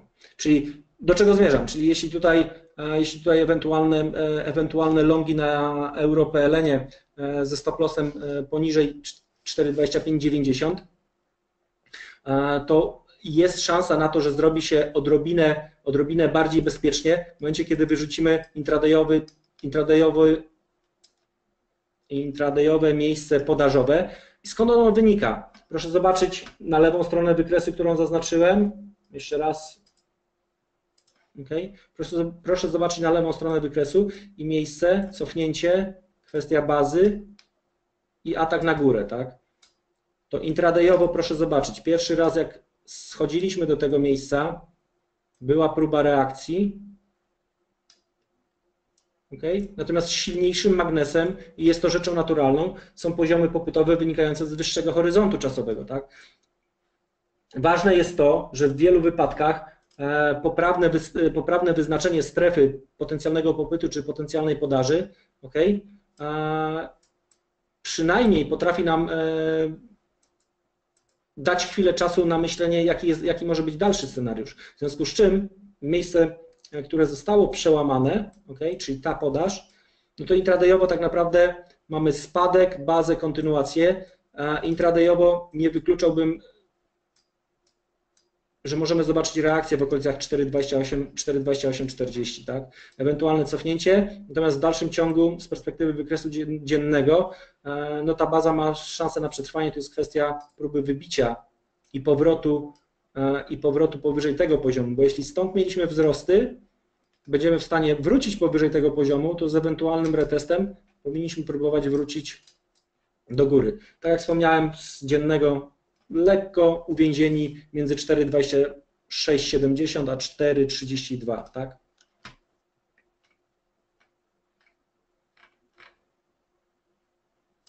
OK.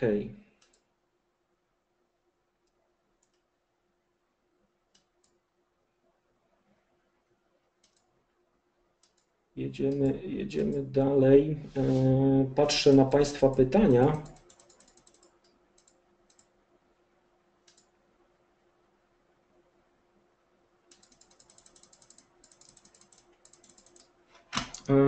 Okay.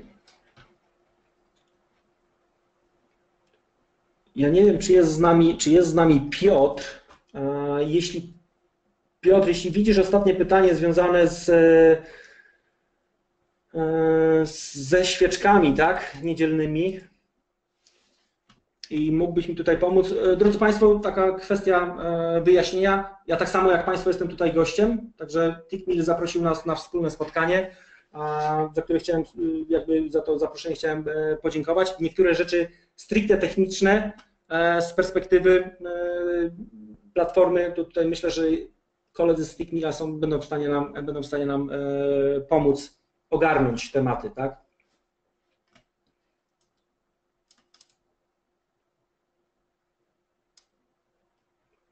Ok, jedziemy dalej. Zrobiliśmy sobie, mam nadzieję, że mam nadzieję, że kwestie, że kwestie związane, e, że kwestie związane e, z EuroPLN-em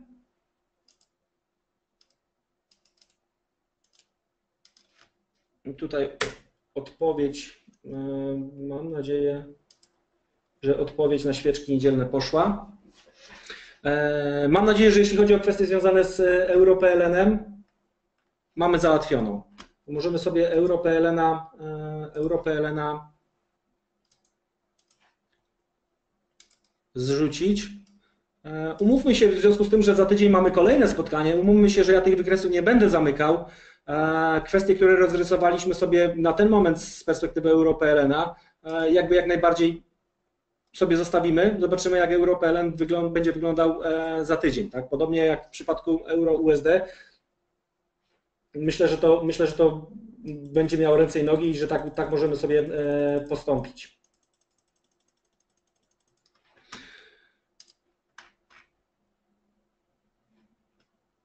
Jedziemy dalej. Takim razie złoto. Wspomniałem o tym, że złoto wygląda dość ciekawie. E, jeśli chodzi o złoto, to musimy tutaj podejść e, z perspektywy, czy rozpocząć z perspektywy wykresu nawet tygodniowego, jeśli chodzi o złoto, żeby mniej więcej ogarnąć temat, w którym miejscu, e, w którym miejscu jesteśmy e, i ewentualnie czego moglibyśmy się tutaj e, po złocie spodziewać. Na ten moment Ups.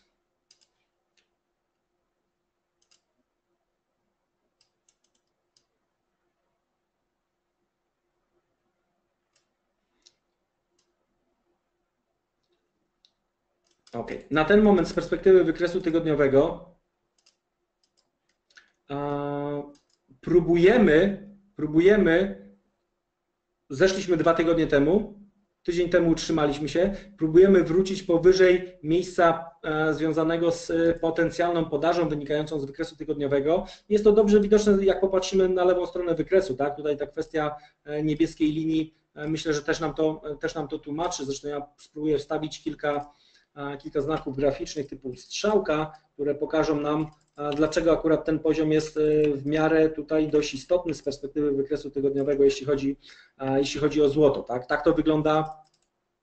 Mm, tak to wygląda na wykresie tygodniowym. Z perspektywy wykresu dziennego, biorąc pod uwagę to, co widzieliśmy, e, teraz schodząc na, na wykres dzienny, to, co widzieliśmy z perspektywy wykresu dziennego, jeśli weźmiemy sobie, wstawimy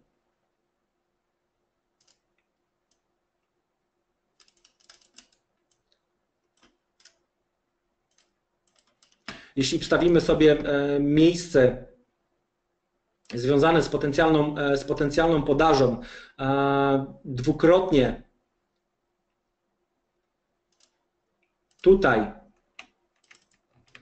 i teraz ponownie próbujemy, e, próbujemy podaż, próbuje odrzucić ceny, no to kwestia, że sytuacja po reteście 1300-1305 w zależności od tego, jak będzie tak naprawdę wyglądał dolar, a może wyglądać tak jak w tych miejscach, tak? Czyli na ten moment, na ten moment sytuacja, z którą mamy do czynienia na złocie, e, no, ma prawo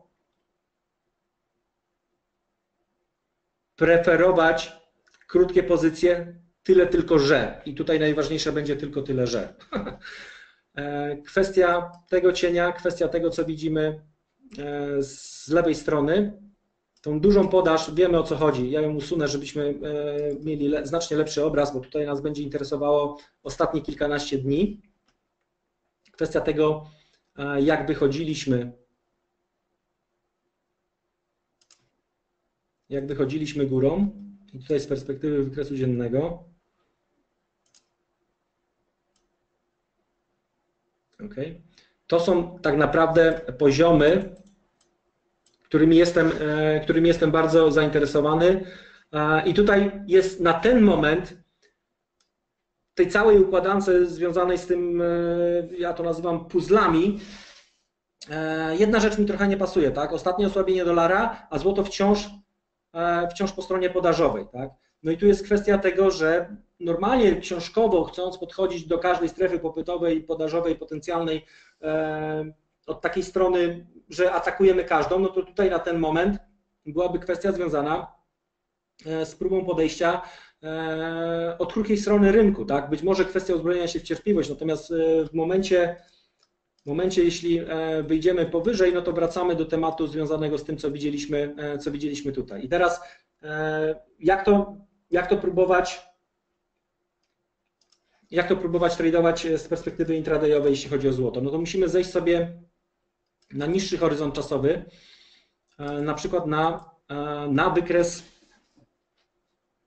e, intradayowy. Ja tylko pozwolę sobie, żebyśmy mieli lepszą widoczność, pozwolę sobie tą belkę zieloną mimo wszystko usunąć na razie. Wracamy Wracamy na wykres godzinowy e, i proszę zobaczyć miejsce, w którym jesteśmy i sytuację, z którą mamy do czynienia, jeśli chodzi o, o lewą stronę o lewą stronę wykresu. Wstawimy sobie żółtą belkę, bo rozmawiamy o wykresie intradayowym i interesuje nas sytuacja, z którą mieliśmy do czynienia z lewej strony na wykresie intraday tutaj, tak? Bo tutaj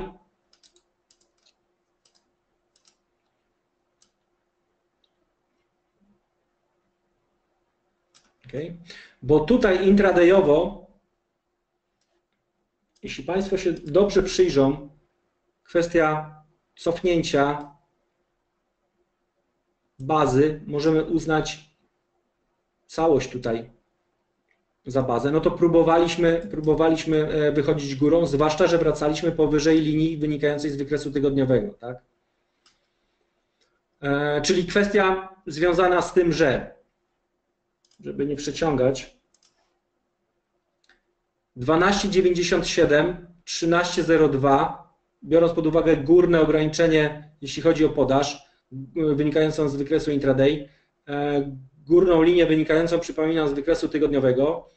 E, nawet jestem w stanie sobie to w takim razie rozszerzyć aż dotąd, żebyśmy mieli, żebyśmy mieli jasność. E, I to są kwestie związane na ten moment z ewentualną z ewentualną podażą. Tak? Kwestia, jak podejść do tej ewentualnej podaży, o tym za chwilę. Najpierw, co jeśli wydarzą się, wydarzy się breakout, bo to jest znacznie łatwiej wytłumaczyć. przypadku breakoutu intraday, czego nie chcemy zobaczyć, to przy pierwszym cofnięciu nie chcemy zobaczyć retestu, tak? My chcemy zobaczyć wybicie, my chcemy zobaczyć cofnięcie nie sięgające tego miejsca, chcemy zobaczyć próbę kontynuacji. Po co? I teraz pełna manipulacja wchodzi w grę. Chcemy zobaczyć kwestie związane z tym, że tego typu układ to książkowo, e, książkowo strategia mówiąca o tym, kupuj wybicie tej, tej, tej górki tutaj, na, po, wybiciu, po wybiciu oporu 1, 2, 3, czyli kupuj przebicie, twój stop jest pod, e, pod dołkiem, tak? Znają Państwo, znają Państwo tą strategię?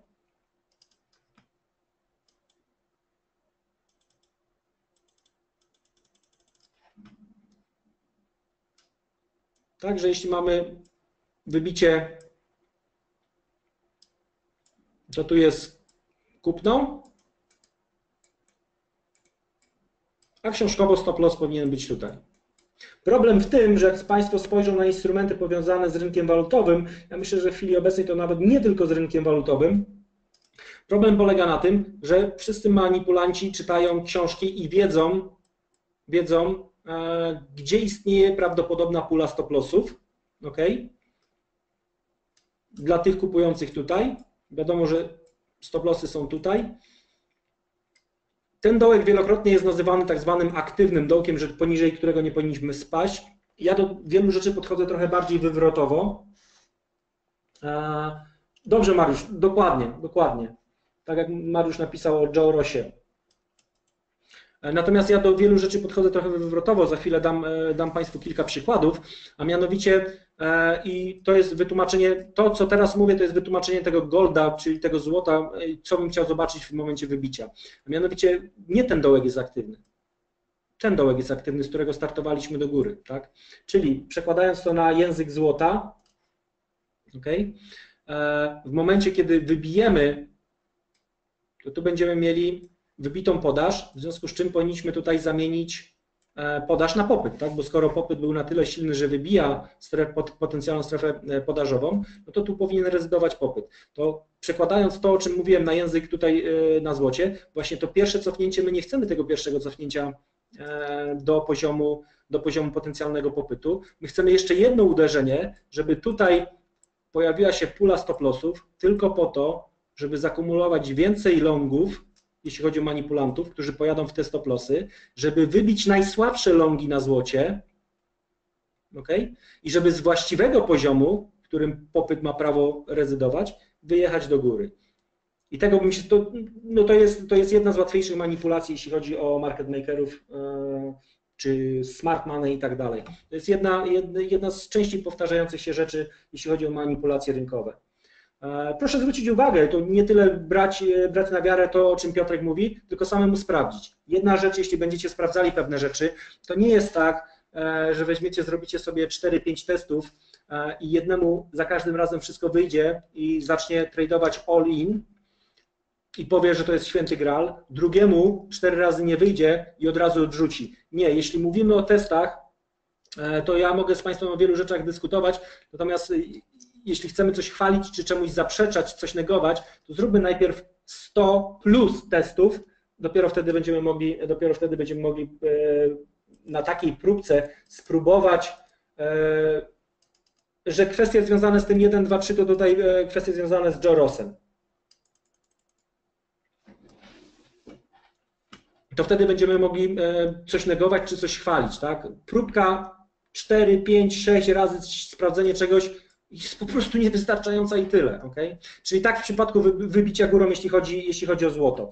W przypadku, bo wracamy teraz do tego trudniejszego scenariusza, gdyby rynek złota miał ewentualnie z obecnych poziomów tracić na wartości, no to kwestia tutaj, e, jak ewentualnie, e, jak ewentualnie pod, pod tą podaż, którą tu widzimy, jak ewentualnie próbować się, e, próbować się podłączyć, tak? bo tutaj na ten moment to byłoby ok, jest podaż, ale byłoby to w cudzysłowie próba wciskania palców między szprychy w rozpędzonym rowerze. Spróbujmy zejść na wykres 5-minutowy, zobaczmy, czy my sobie coś tutaj e, na 5-minutowym jesteśmy w stanie, jesteśmy w stanie zaobserwować. E, jedna rzecz, że w przypadku niskiego horyzontu czasowego, e, w przypadku niskiego horyzontu czasowego, to jak najbardziej w miarę szybko jesteśmy w stanie ogarnąć tematy związane z 3 do 1, tak? bo wcale nieduży spanek będzie nam potrzebny do tego, żeby, żeby do, takich poziomów, do takich poziomów pojechać. To próbując, próbując handlować E, załóżmy 3 do 1 z okolic 1300 ze stopem 1303, to potrzebujemy około 10 dolarów na złocie, czyli kwestię 1290, tak? To zobaczmy sobie e, w telegraficznym skrócie 1290, żeby minimum było 3 do 1, to będą intradayowo te poziomy, tak?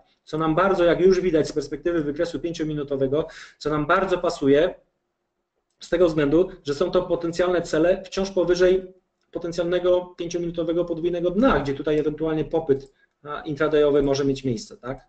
Tutaj popyt intradayowy może mieć miejsce. Nasz cel jest ewentualnie powyżej. Co chciałbym zobaczyć, co chciałbym osiągnąć, e, co mogłoby mnie ewentualnie skłonić do tego, że e, do tego, że mm, mógłbym podjąć decyzję o krótkich pozycjach na złocie. Przede wszystkim chciałbym zobaczyć, co się dzieje w ramach tego wzrostu, co się dzieje od momentu 1290, ok? Od tego wybicia tak? bo to jest mój cel i ja chcę zobaczyć, czy ja mam drogę wolną do tego poziomu. No i na ten moment, spoglądając na to, jak zachowujemy się od momentu wybicia tutaj tych szczytów, o ja to może rozrysuję w ten sposób,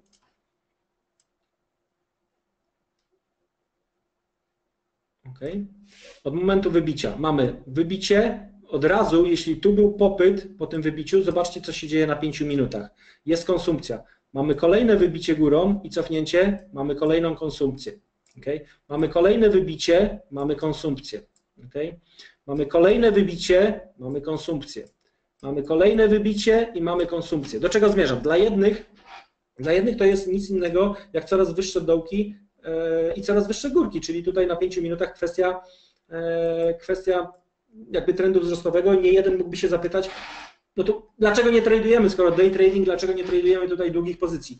Problem polega na tym, w tym przypadku, Problem polega na tym, że musimy zwrócić uwagę na to, w którym miejscu jesteśmy, jeśli chodzi o złoto. Tak? Przypominam, że jesteśmy w ramach e, góra podaż z wykresu tygodniowego, e, intraday i dzienny, potencjalna podaż. Okay?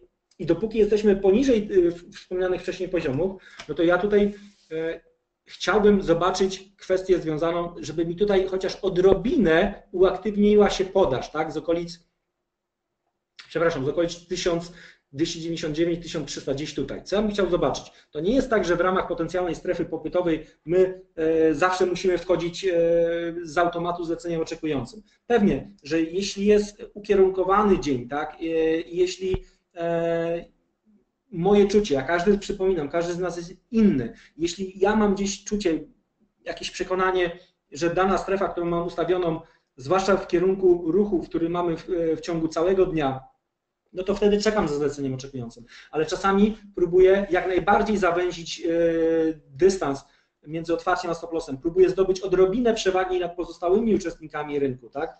E, bo to, że widzimy jakąś podaż, no to wielu uczestników będzie widziało tych, którzy szukają krótkich pozycji, tak? E, w zależności od różnych strategii różne będą podejścia. Natomiast dla mnie najważniejsze, żeby spróbować zdobyć chociaż odrobinę przewagi nie będzie to możliwe za każdym razem, ale raz na jakiś czas, jeśli uda mi się zdobyć odrobinę przewagi nad pozostałymi uczestnikami rynku, to w tych przypadkach wielokrotnie ja będę realizował swój cel, a co niektórzy będą dopiero zajmowali pozycję w tym kierunku. Tak? Do czego zmierzam w związku z tym? W pewnym momencie w tych okolicach tutaj e, 12,99, 13, 13,01, co ja bym chciał zobaczyć na wykresie 5-minutowym lub e, minutowym. Dlaczego wspomniałem o tej konsumpcji? E, jedni tutaj widzą ruch wzrostowy, jak najbardziej jest to kwestia bardzo prawidłowa. Dla mnie to, to jest e, w ramach miejsca, którego jesteśmy, to dla mnie każdego rodzaju cofnięcie to jest torowanie sobie przyszłej drogi, jeśli chodzi o ewentualny spadek. Jeśli ja mam rację, jeśli ja mam rację i w którymś miejscu tutaj pojawi się podaż, to w związku z tym, że za każdym razem z perspektywy wykresu intraday mogę zakładać, że każde cofnięcie to jest konsumpcja ostatniego popytu, ok? To jest konsumpcja ostatniego popytu za każdym razem. Proszę zobaczyć, jak oni się tutaj zachowują. To ja mogę zakładać, że do mojego celu 12,90 tutaj,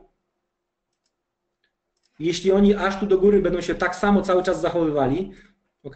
To oni, oni, można zapytać, kto to jest, to oni. No to kwestia spekulantów, kwestia manipulatorów i tak dalej, i tak dalej. Tak się umówmy, że ci oni to będą, to będą oni. Za każdym razem cofnięcie dla mnie to jest próba utorowania sobie drogi, jeśli mój tok rozumowania jest prawidłowy, jesteśmy poniżej e, podaży z wykresu tygodniowego, to każde cofnięcie tutaj to jest kwestia torowania sobie drogi, że jeśli już dojdzie do sprzedaży, to przynajmniej osiągniemy 12,90, bo każdy popyt tutaj wcześniej jest skonsumowany. Czyli ja mogę założyć z tej perspektywy, że zlecenia, które tutaj ewentualnie były i dzięki tym zleceniom wychodziliśmy wyżej, po cofnięciu był test, to te zlecenia są konsumowane, torujemy sobie drogę, tak? Mam nadzieję, mam nadzieję, że jest to w miarę, w miarę logiczne to, o czym mówię. W związku z czym, co ja chcę zobaczyć? Ja bym chciał zobaczyć ewentualnie kwestię związaną z e, podwójnym szczytem albo głową z ramionami na 5 minutach albo na wykresie minutowym na zasadzie takiej, że jeśli podwójny szczyt, tak, no to na przykład e, wybijamy ten szczyt, konsumujemy, robimy jeszcze jeden szczyt, konsumujemy, zaczynamy robić podwójny szczyt, jakakolwiek oznaka, która mi w tym rejonie, na niskim horyzoncie czasowym da podstawę do tego, żeby sądzić, że to jest podwójny szczyt, czyli kwestia czegokolwiek na świecy minutowej czy pięciominutowej, tak? To matematyka tutaj jest po mojej stronie. Ja muszę, ja muszę zakładać, że jeśli pojawi mi się coś, na przykład na świecy wzrostowej, co będzie mi sugerowało odrobinę górnego cieniu, że tu jest podaż, tak? A wiem, że duży, jeśli chcę cokolwiek ukryć, to ukryje sprzedaż na świecy wzrostowej, to u mnie musi się przestawić zakładka w głowie, e, bo część, część z Państwa nie będzie mm, w stanie tego zrobić w taki sposób, będzie wolała czekać na potwierdzenie, tak? Tylko, że wielokrotnie w przypadku, kiedy czekamy na potwierdzenie, e, bo ja wiem o tym z doświadczenia, to ja też czekam czasami na potwierdzenie do dzisiaj, tak? E, przy, niektórych, przy niektórej próbie podejścia E, czekam e, na potwierdzenie i okazuje się, że niestety kiepski był to pomysł, tak? Jeśli chodzi o próbę czekania na, na, potwierdzenie. W związku z czym, jeśli ja jestem w stanie zdobyć odrobinę przewagi, a tak jak wspomniałem, matematyka jest po mojej stronie, e, to w wielu wypadkach, kiedy tutaj co niektórzy będą dostawali potwierdzenie krótkich pozycji na złocie w okolicach 12,93-12,90, no to ja będę częściowo przynajmniej realizował 3R na złocie w tym wypadku. Tak? Oczywiście nie ma dyskusji, kiedy zajmę krótką, mój stop jest powyżej i rynek pojedzie do góry, no hejterzy powiedzą, o super, wyrzuciło go z rynku. No kurde, ale nie ma o czym dyskutować, no bo mnie wyrzuca z rynku i tyle. No. I tak to, i tak to, i tak to będzie wyglądało, tak? Jeśli chodzi, jeśli chodzi o, o złapanie, złapanie stop lossa. Nic na, to, nic na to nie poradzimy. E, czyli kwestia podwójnego szczytu. Jeszcze lepiej, jeśli na wykresie minutowym lub pięciominutowym e, rynek pokaże nam coś na wzór ewentualnie głowy z ramionami, ok? Czyli e, próba wzrostu, może przesadziłem. Próba jeszcze jednego wzrostu, tak. Konsumpcja, wyjście górą, jeszcze raz konsumpcja tego samego miejsca, próba podbicia, i o tym będziemy sobie mówili na następnych spotkaniach. W przypadku ewentualnych jakichkolwiek głów z ramionami, to to, co umożliwiają potencjalne strefy popytu i podaży, ja nie mówię, że to zawsze działa, ale umożliwiają zdobycie odrobiny przewagi, jeśli chodzi o e, tradowanie głowy z ramionami, bo w przypadku potencjalnych stref popytu czy podaży, e, głowę z ramionami handlujemy w okolicach, kiedy tworzy się potencjalne prawe ramię, okay? i w momencie, kiedy E, kiedy schodzimy do linii szyi, kiedy ją nawet przebijamy i tutaj książkowo, kiedy wiele osób czeka na potwierdzenie przełamania linii szyi, dopiero dokonuje e, podjęcia decyzji o zajęciu ewentualnych krótkich pozycji, tak, ze stop lossem tu, gdzie e, w ramach potencjalnych stref popytu czy podaży ja już mam otwarcie, to jestem w bardzo komfortowej sytuacji i to jest ta moja próba zdobycia przewagi nad pozostałą częścią rynku, tak? Bo to, jak wygląda głowa z ramionami, zwłaszcza jeśli kształtuje się książkowa, to w wielu przypadkach, zwłaszcza jeśli na wykresie patrzymy w lewą stronę, jest to w ostatnim czasie pierwsza głowa z ramionami, to w bardzo wielu przypadkach, nie wiem czy Państwo wiedzą, ale jak posprawdzacie sobie, to tego typu głowa z ramionami, w zależności od tego, co się dzieje na prawej stronie, Y, jak się kształtuje prawe ramię, bardzo często ta prawa, ta cała strona może zostać zamieniona nie w głowy z ramionami, tylko ci wszyscy, którzy zajęli krótkie pozycje, zostaną wybici tylko po to, żeby ta mała głowa z ramionami była lewym ramieniem większej głowy z ramionami. Znowu, nie słuchajcie Piotrka, jeśli chodzi, nie, nie bierzcie tego na słowo, popatrzcie na wykresy, jak to wygląda, tak? Ale o tym będziemy sobie rozmawiali na, na kolejnych naszych spotkaniach, e, czy jest szansa, żeby ogarnąć temat tego, żeby przewidzieć, czy dana głowa z ramionami ma szansę realizacji, czy nie. E, kwestia jest tego typu, że wykorzystując potencjalne strefy popytu czy podaży, będąc e, w tradzie z góry, my mamy komfortową sytuację, tak? Bo my jesteśmy na zasadzie takiej, że możemy w każdej chwili okay? będąc stąd, jeśli tu nam się coś z prawej strony zaczyna kołatać, to my jesteśmy w stanie zareagować. Tu najbardziej spoceni są ci, którzy są w głowie, którzy tradują głowę z ramionami po przebiciu linii szyi, a, a wracamy odrobinę wyżej. To ci mają problem, tak? My tutaj możemy e, w każdej chwili e, podjąć jakiekolwiek decyzje, bo jeszcze możemy mieć czas, czy nawet przestawić stop loss tylko i wyłącznie na plus, na plus jeden, tak? E, a propos głów z ramionami, to to co wspomniałem, jeśli tworzy się na prawym ramieniu coś na wzór megafonu, to istnieje prawdopodobieństwo, że tego typu głowa z ramionami zostanie, zostanie wybita. E, także tyle na, temat, tyle na temat złota. Na ten moment to jest kwestia obserwacji tego, co będziemy mieli w zakresie 12,99-13,01, jak to będzie wyglądało z perspektywy wykresu 5-minutowego i minutowego, czy tutaj w ogóle się coś pojawi, co pomoże mi w podjęciu decyzji, jeśli chodzi o próbę zajęcia krótkich pozycji. Jeśli zobaczymy wybicie, to kwestia tego, o czym rozmawialiśmy sobie wcześniej. Pierwszy test chciałbym zobaczyć po tak zwanym podwójnym swingu, tak? Tak, żeby tam była kwestia tego, że rynek może zostać zmanipulowany poprzez próbę poszukania stop lossów. Uh, się nagadałem.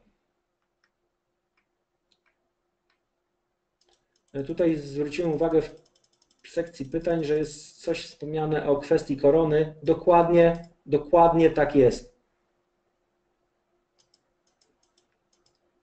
E, I to napisał, i to napisał Mariusz. E, także tak, Mariuszu,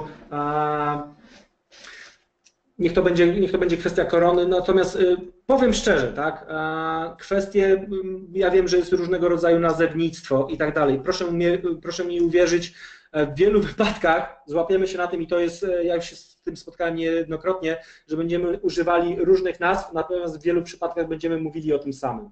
Okay? E, w każdym razie, w każdym razie to, o czym Mariusz napisał o kwestii korony, to jest e, to tak, tak o to chodzi, tak? To może ja to może ja to skopiuję i puszczę na czacie. Mam nadzieję, że dotrze do Państwa. E, to jest kwestia tego, o czym napisał, o czym napisał Mariusz.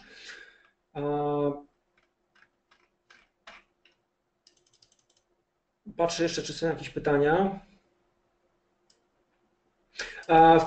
Ja wiem, drodzy Państwo, że e, w wielu przypadkach to, o czym ja wspominałem, to nie jest kwestia tego, że ja tutaj będę próbował Państwu coś sprzedać, czy na siłę wcisnąć, czy na siłę namówić do tego, żebyście korzystali. Ja zdaję sobie sprawę, E, I mam nadzieję, że, że to będzie jeszcze bardziej aktywne podczas naszych kolejnych spotkań, e, jakby kwestia wymiany doświadczeń jak najbardziej. Natomiast ja wiem, że wśród Państwa jest wielu zwolenników fal Eliota, że wśród Państwa jest wielu zwolenników e, Fibonacciego i tak dalej. Ja tego nie neguję, broń Boże. Natomiast jeśli ktoś będzie chciał porozmawiać ze mną na temat fal Eliota, to jestem kompletnie zielony, tak? A jedyne co to umiem policzyć do trzech, do pięciu i, i na tyle jest mojej wiedzy z Faleliota, także tutaj za ewentualne wskazówki ja jestem bardzo, bardzo, bardzo e, wdzięczny. Natomiast gdzieś tam przy, przy podejściu e, będę się mimo wszystko e, gdzieś tam tym swoim podejściem również kierował. Chodzi o to, żebyśmy to, o czym sobie na przykład dzisiaj powiedzieli, bo tak jak mówię, no ciężko było zacząć od razu start i trading w momencie, kiedy Państwo by nie mieli w wielu wypadkach E, wiedzy na ten temat, skąd to wynikło, tak? Ja będę pewne rzeczy tłumaczył. Mam nadzieję, że od następnego razu, zwłaszcza, że nasze spotkania są na początku sesji w Europie, czyli z tej perspektywy między 9 a 14, to ten czas między 9 a 10.30, 9 a 11 to jest ten najlepszy czas, jeśli ma być ruch e, podczas sesji w Europie. I mam nadzieję, że, że my to niejednokrotnie wykorzystamy i oprócz tego, że e, Piotrek się tutaj nagada o tym, jak to fajnie wygląda z perspektywy potencjalnych stref popytu i podaży, e, to że będziemy mogli to przełożyć na wykresy i będziemy mogli kliknąć buy, sell i tak dalej, i tak dalej w ramach konta, które tutaj, które tutaj mamy i tyle, tak? Natomiast wracając do wykresów, omówiliśmy sobie euro-dolara, a euro-dolar w obydwu przypadkach na ten moment, jak spojrzymy, kwestia tak zwanej według mnie ziemi niczyjej w tym momencie, w związku z czym kwestia uzbrojenia się w cierpliwość, oczekiwania na osiągnięcie poziomów. W przypadku złota znacznie bliżej do podjęcia decyzji odnośnie ewentualnego trade'u. Ja wiem, że wielu z Państwa jest fanami DAX-a, natomiast tu jest kwestia według mnie e, niekończącej się na ten moment konsolidacji. Powiem Państwu, że nie wiem, e, musimy pamiętać o tym, że za dwa tygodnie mamy Europejski Bank Centralny, tak? I jeśli to, o czym rozmawialiśmy sobie z perspektywy euro-dolara, prawdą jest, że wróciliśmy do starego zasięgu zmienności i że przewagę mają byki, no to wydaje się, że kwestie, z którymi mamy do czynienia na DAX-ie w chwili obecnej, mogą być dystrybucją, tak? Kwestia tego typu, że jeśli jednak mimo wszystko na euro-dolarze zostaniemy odrzuceni z tej konsolidacji w dół i będziemy kończyli tydzień poniżej tej konsolidacji, o której sobie rozmawialiśmy, no to to może być na DAX-ie, to może być akumulacja i próba wyjścia górą. Tak? Tutaj kwestia powiązania DAX-a e, z euro-dolarem jest na pewno Państwu, e, jest na pewno Państwu znana. Natomiast no, na ten moment najlepsze pole do popisu e, mają osoby, które radzą sobie w tak zwanym range tradingu. Tak? najlepsze podejście w range tradingu, no to jeśli jest range, to może nie tyle czekać, e, może nie tyle czekać na, e, na punkty ze stojącymi zleceniami, tylko range najlepiej jest podkreślony stop, stopem, tak? wyrzuceniem z rynku. To jest najlepszy range. No to jest, to jest znowu wracamy do kwestii związanej z manipulacją, tak? A, czyli wyznaczmy sobie ten range.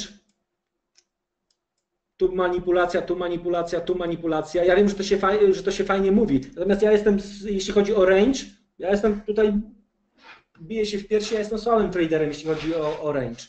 A ja wolę kwestie związane z wybiciem, retestem i kontynuacją albo ze e, wybiciem ostatniego popytu, e, retestem podaży i kontynuacją. Tak? Range bije się w piersi, jestem słaby. I myślę, że tutaj z tej perspektywy, w moim wypadku kwestia uzbrojenia się w cierpliwość, jeśli chodzi o DAX-a, niech rynek pokaże, bo my w wielu przypadkach jako, jako traderzy, jako osoby e, z predyspozycjami do tego, żeby być traderami, to my czasami zachowujemy się jak ci, którzy mogą ruszyć rynkiem, tak? A jakbyśmy posiadali tak głęboki portfel, że możemy ruszyć rynkiem. My robimy w wielu przypadkach tak zwany front running, ze względu na to, że a, bo mam to, e, nie, no to muszą wyjść górą, tak? I, i, i bierzemy już e, znacznie wcześniej, po czym rynek nie wychodzi górą, tak? Tylko my nie jesteśmy gotowi na to, żeby zareagować, jeśli rynek idzie przeciwko nam. E, powoli nam, powoli nam czas ucieka, natomiast myślę, że myślę, że nie jest tak naj... myślę, że atmosfera jest całkiem niezła u nas w pokoju, w związku z czym jeszcze kilka chwil, e, mam nadzieję, że nas tutaj nic nie rozłączy, to jeszcze kilka chwil i Mariuszu e, funtem zakończymy, bo funt też jest w ciekawym miejscu. Ale tak, e, taka ciekawostka czy, czy, czy anegdota związana z tym, związana z tym, jak bardzo łatwo z day tradera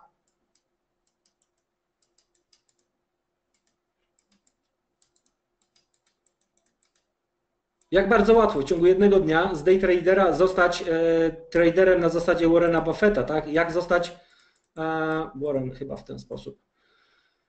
E, jak wielu z nas bardzo szybko stwierdza, że z, nie, nie chcę być day traderem, bo chcę być e, Warrenem Buffettem, bo ja już teraz będę inwestował w wartość. Wiecie, wiecie na jakiej zasadzie to się odbywa? Jak bardzo szybko przekształcić się można z e, day tradera w Warrena Buffetta? Mianowicie wychodzimy z założenia, że jesteśmy day traderem, tak? I zaczynamy, zaczynamy handlować. Nasze nastawienie rynkowe, załóżmy, że rynek jest w tym miejscu, nasze nastawienie rynkowe jest prowzrostowe, ok? W związku z czym my handlujemy tutaj, zaczynamy handlować logi, longi. E, w związku z tym, że chcemy grać wąsko ze stopami, a boimy się, żeby rynek nas nie wyrzucił, e, to stawiamy tak zwanego mentalnego stopa, tak? Wiecie, co to jest mentalny stop? E, że on nie jest w systemie, tylko w naszej głowie. Ok? Mental stop. No i rynek zamiast tego naszego planu do góry, no to rynek e, robi swój plan, tak? Czyli schodzi, schodzi niżej. Nasz mentalny stop był tutaj, no ale kurde nie udało nam się, nie udało nam się tego mentalnego stopa postawić. E, no ale dobra, jak rynek wróci, no to zamkniemy na zero. No i rynek daje nam tą szansę, zamknięcia na zero, tyle tylko, że my nie zamykamy na zero, bo jak już doszedł tutaj, to rynek już teraz na pewno e, pójdzie zgodnie z tym, co my chcemy. Pamiętajmy, że jesteśmy day traderem, koniec dnia jest e, naszą granicą. W związku z tym fixing w Londynie jest w tym miejscu. Dalej nasz stop mentalny nie działa, bo przecież mieliśmy już wychodzić do góry, ok? No i w okolicach, w okolicach fixingu w Londynie, w okolicach tego, kiedy my kończymy swój dzień, bo po 12 godzinach nasz plan był taki, jesteśmy tu, no to psychicznie jesteśmy wykończeni, ale na tym poziomie, na tym poziomie, to generalnie patrzymy na tą naszą pozycję i mówimy sobie tak, nie, no, w tym miejscu ta pozycja posiada przepotężną wartość. Ja myślę, że tutaj, że Warren Buffett by tutaj zainwestował.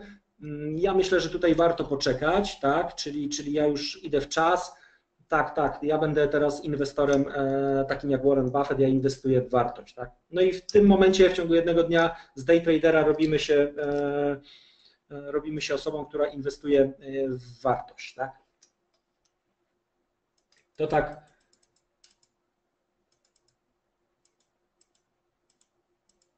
Dokładnie, dokładnie tak jest.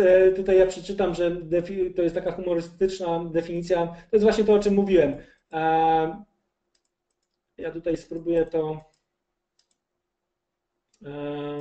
zacytować, albo nawet jeśli mi się uda to skopiować Państwu.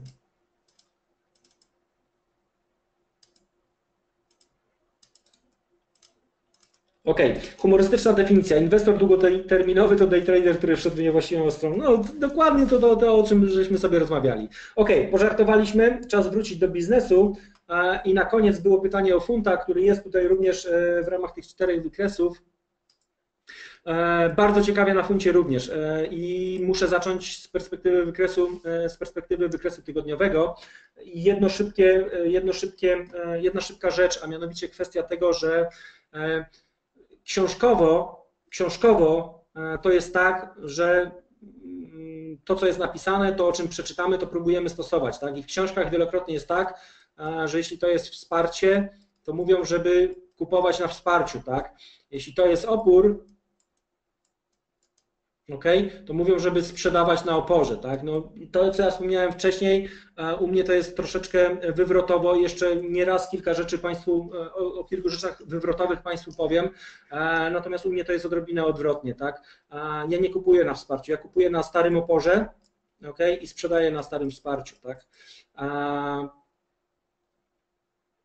Nie na starym, na poprzednim. O, tak, lepsza definicja. E, kupuję na poprzednim oporze, nie na wsparciu, bo w wielu wypadkach, w wielu wypadkach będziemy mieli tutaj wsparcie, bo rynek będzie próbował klepać, ale poprzedni opór będziemy mieli 7 pipsów niżej. Tu się ceny dobijały, zanim wyszły do góry. Tu próbują klepać, tak? No i książkowo jest kupuj na wsparciu, tak? Tyle tylko, że manipulanci też czytają książki.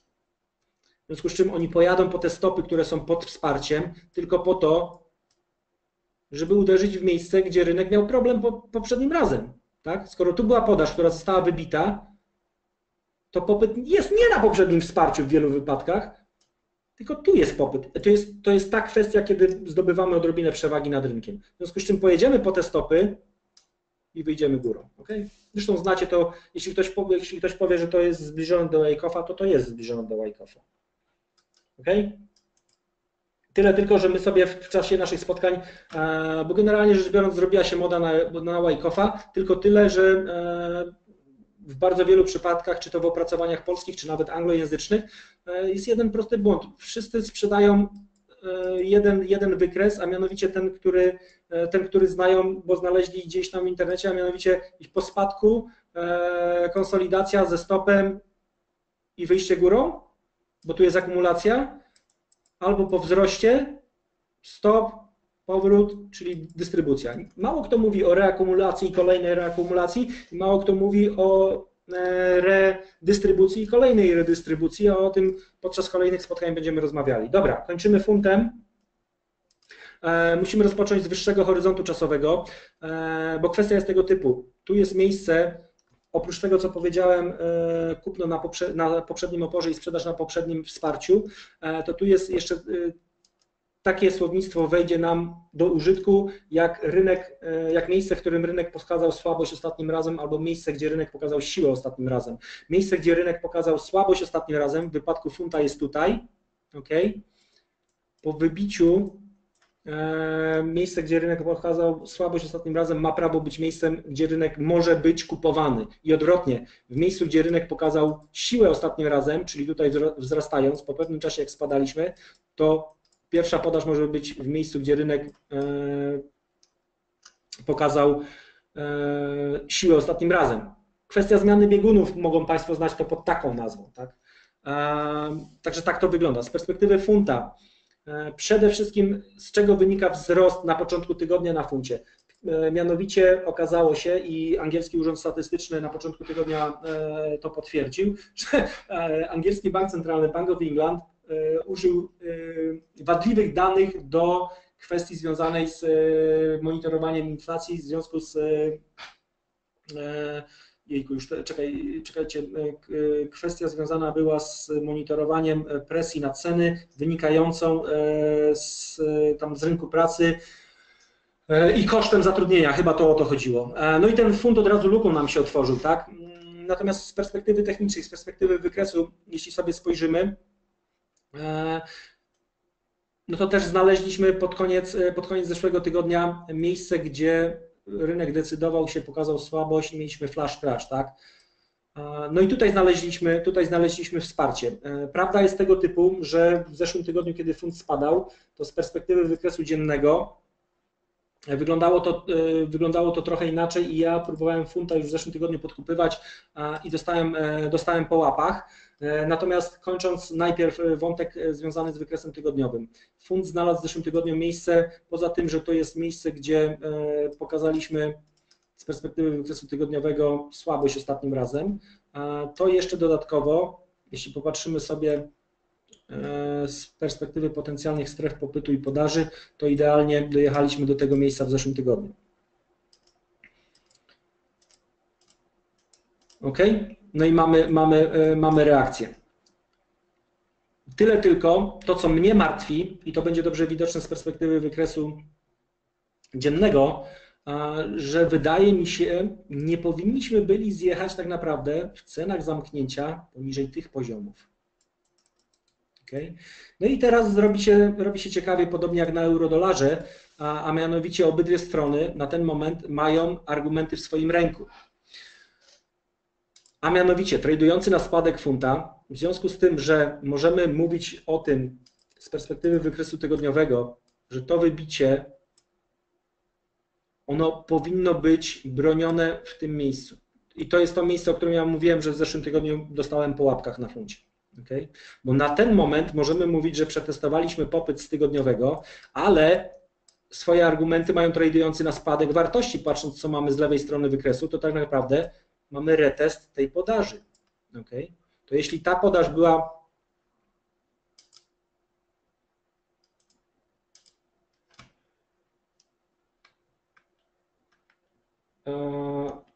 I y, Bitcoin, tutaj mam informację, że Bitcoin przebija 5000 i dobija do 5100. Nasze następne spotkanie, zobaczymy jak Bitcoin będzie wyglądał, bo tutaj już nam dobrze minął czas. E, jako, że na, na platformie Tickmill e, mamy, mamy możliwość e, sprawdzenia sobie wykresu czy składania zleceń na Bitcoinie, bez dwóch zdań kolejne spotkanie poświęcimy trochę czasu Bitcoinowi. Zresztą kwestia rynku kryptowalut jest coraz ciekawsza i na pewno do Bitcoina sobie, sobie wrócimy. Kończąc wątek związany z funtem, argumenty za wzrostem wartości na funcie, test podaży wynikającej z wykresu tygodniowego. Argumenty za sprzedażą funta w okolicach obecnych poziomów, to, co miało miejsce z lewej strony. Także na dwoje babka wróżyła. Ja myślę, że jutrzejsze CPI, sprzedaż detaliczna ze Stanów Zjednoczonych rozwiążą temat. Najgorzej, co może być, to jak skończymy, e, skończymy w niepewności. Intraday na funcie. Intraday na funcie. E, podobnie, tak? To była kwestia związana z popytem, gdzie ja schodziłem na niższy horyzont czasowy tutaj w zeszłym tygodniu i próbowałem tutaj dokonywać transakcji długich dostałem po tyłku, tak? No tutaj nie ma się co, co czarować. No, nie jest tak, że zawsze wszystko działa. Natomiast jesteśmy w miejscu, gdzie zaczyna to ciekawie wyglądać od strony e, i popytowej, i podażowej, bo tu trwa walka o to, żeby próbować się wybić do góry. E, Wspomniałem dwa zdania dzisiaj z perspektywy tak zwanego megafonu i teraz zejdziemy sobie szybko na wykres godzinowy, bo fund będzie ciekawy, bardzo ciekawy w ciągu dnia dzisiaj, zwłaszcza w okolicach publikacji, bo dzisiaj mamy, proszę nie zapominać, dzisiaj mamy kwestie związane z inflacją po stronie, po stronie producentów. To może być przygrywka do jutrzejszej inflacji. I teraz proszę zobaczyć, gdzie jesteśmy na funcie. Jesteśmy na funcie w ramach miejsca, którego dokonało się tutaj wylanie, tak, że się tak wyrażę. Tyle tylko, że nie wygląda mi to na. E, to, to jest kwestia, gdzie tutaj mieliśmy ewentualnie e, po spadku bazę, kontynuację. Tyle tylko, że ta baza za długo trwała z perspektywy wykresu godzinowego, tak? Co ja bym tutaj ewentualnie chciał zobaczyć z perspektywy krótkich pozycji, to jest kwestia związana z pomysłem bardzo podobnym do euro-dolara, tak? Ja sobie będę tutaj te maksy obserwował, jak my się tutaj będziemy zachowywali i czy będzie jakaś kwestia związana z manipulacją, być może z głową, z ramionami na wykresie godzinnym, ok? Albo schodząc jeszcze niżej, na przykład na wykres 5-minutowy, my tutaj e, będziemy wracali do kwestii związanej z tak zwanymi megafonami e, i innymi tego typu rzeczami. Jeśli sobie, e, jeśli ktoś z Państwa zna jakby z doświadczenia zasady działania megafonu, to będzie wiedział, będzie wiedział o czym sobie, o czym sobie w chwili obecnej mówimy. A mianowicie, jeśli tutaj nie będzie szybko kontynuacji w przypadku funta, to o czym mówimy, to może się okazać, że górne ograniczenie megafonu, tak zwana trójka, o trójkach również, ja wiem, że ja dużo, dużo treści przekazuję dzisiaj, nie wszystko zostanie zapamiętane, ale od przyszłego tygodnia, w momencie, kiedy będziemy, kiedy będziemy tradowali, jeśli rynek da nam szansę na tradowanie, to wiele rzeczy, o których mówiliśmy dzisiaj, będzie powtarzanych i to się Państwu utrwali, wierzę w to, zwłaszcza tym z Państwa, którzy są tematem zainteresowani. Tak?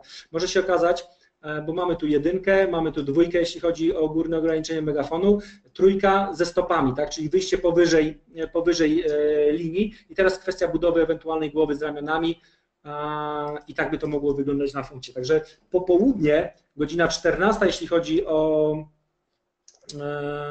14.30, jeśli chodzi o publikację danych w dniu dzisiejszym, przygrywka, jutro bardzo istotne. Tak? I jedna rzecz, bo tutaj naprawdę proszę nie próbować w ciągu tych najbliższych 24-36 godzin robić tak zwanego frontrunningu, czyli proszę nie próbować wyprzedzić rynku, e, bo rynek ma szansę być dłużej nieprzewidywalny niż my, niż my generalnie będziemy w stanie wytrzymać z pozycją przeciwko rynkowi. Tak? I jeszcze jedna ciekawostka dla Państwa, jeśli będziecie gdzieś tam e, próbowali e, przypominać sobie, o czym sobie dzisiaj rozmawialiśmy, jeśli są zwolennicy tradingu w oparciu o linię, ok, E, to zresztą czy e, trendu, linie, czy horyzontalne, ruch ma prawo się skończyć e, stopami, tak? Czyli idealne dotknięcie w linię ok, i cofnięcie, jeśli tu ktoś, jeśli tu w przypadku, gdy to jest, nie wiem, kanał i ktoś tutaj próbuje grać shorty, proszę mi wierzyć, to będzie zawsze działało jak magnes do momentu, kiedy zostaną wybite stop lossy, albo do momentu, kiedy wybijemy ten kanał do góry, tak, na kontynuację. Ale o takich szczegółach jest wiele takich rzeczy, e, które mam nadzieję ułatwią Państwu, ułatwią Państwu podejście do rynku. E, mam nadzieję, że starczy nam czasu. Dzisiaj zdecydowanie przekroczyliśmy, e, zdecydowanie przekroczyliśmy nasz czas. Mam nadzieję, że nie zanudziłem Państwa. Ode mnie to tyle. Chciałbym tylko, chciałbym tylko przypomnieć, że we wtorek e, Paweł z Forex Klubu e, będzie miał przyjemność spotkać się z Państwem, jeśli dobrze pamiętam, we wtorek o 18, a ja serdecznie zapraszam na przyszły czwartek, ponownie e, w okolicy godziny 9. Powinno być ciekawie, bo w przyszłym tygodniu, w czwartek, będziemy mieli publikację danych z Wielkiej Brytanii dotyczącej sprzedaży detalicznej. Będziemy po inflacji, będziemy tydzień przed ECB.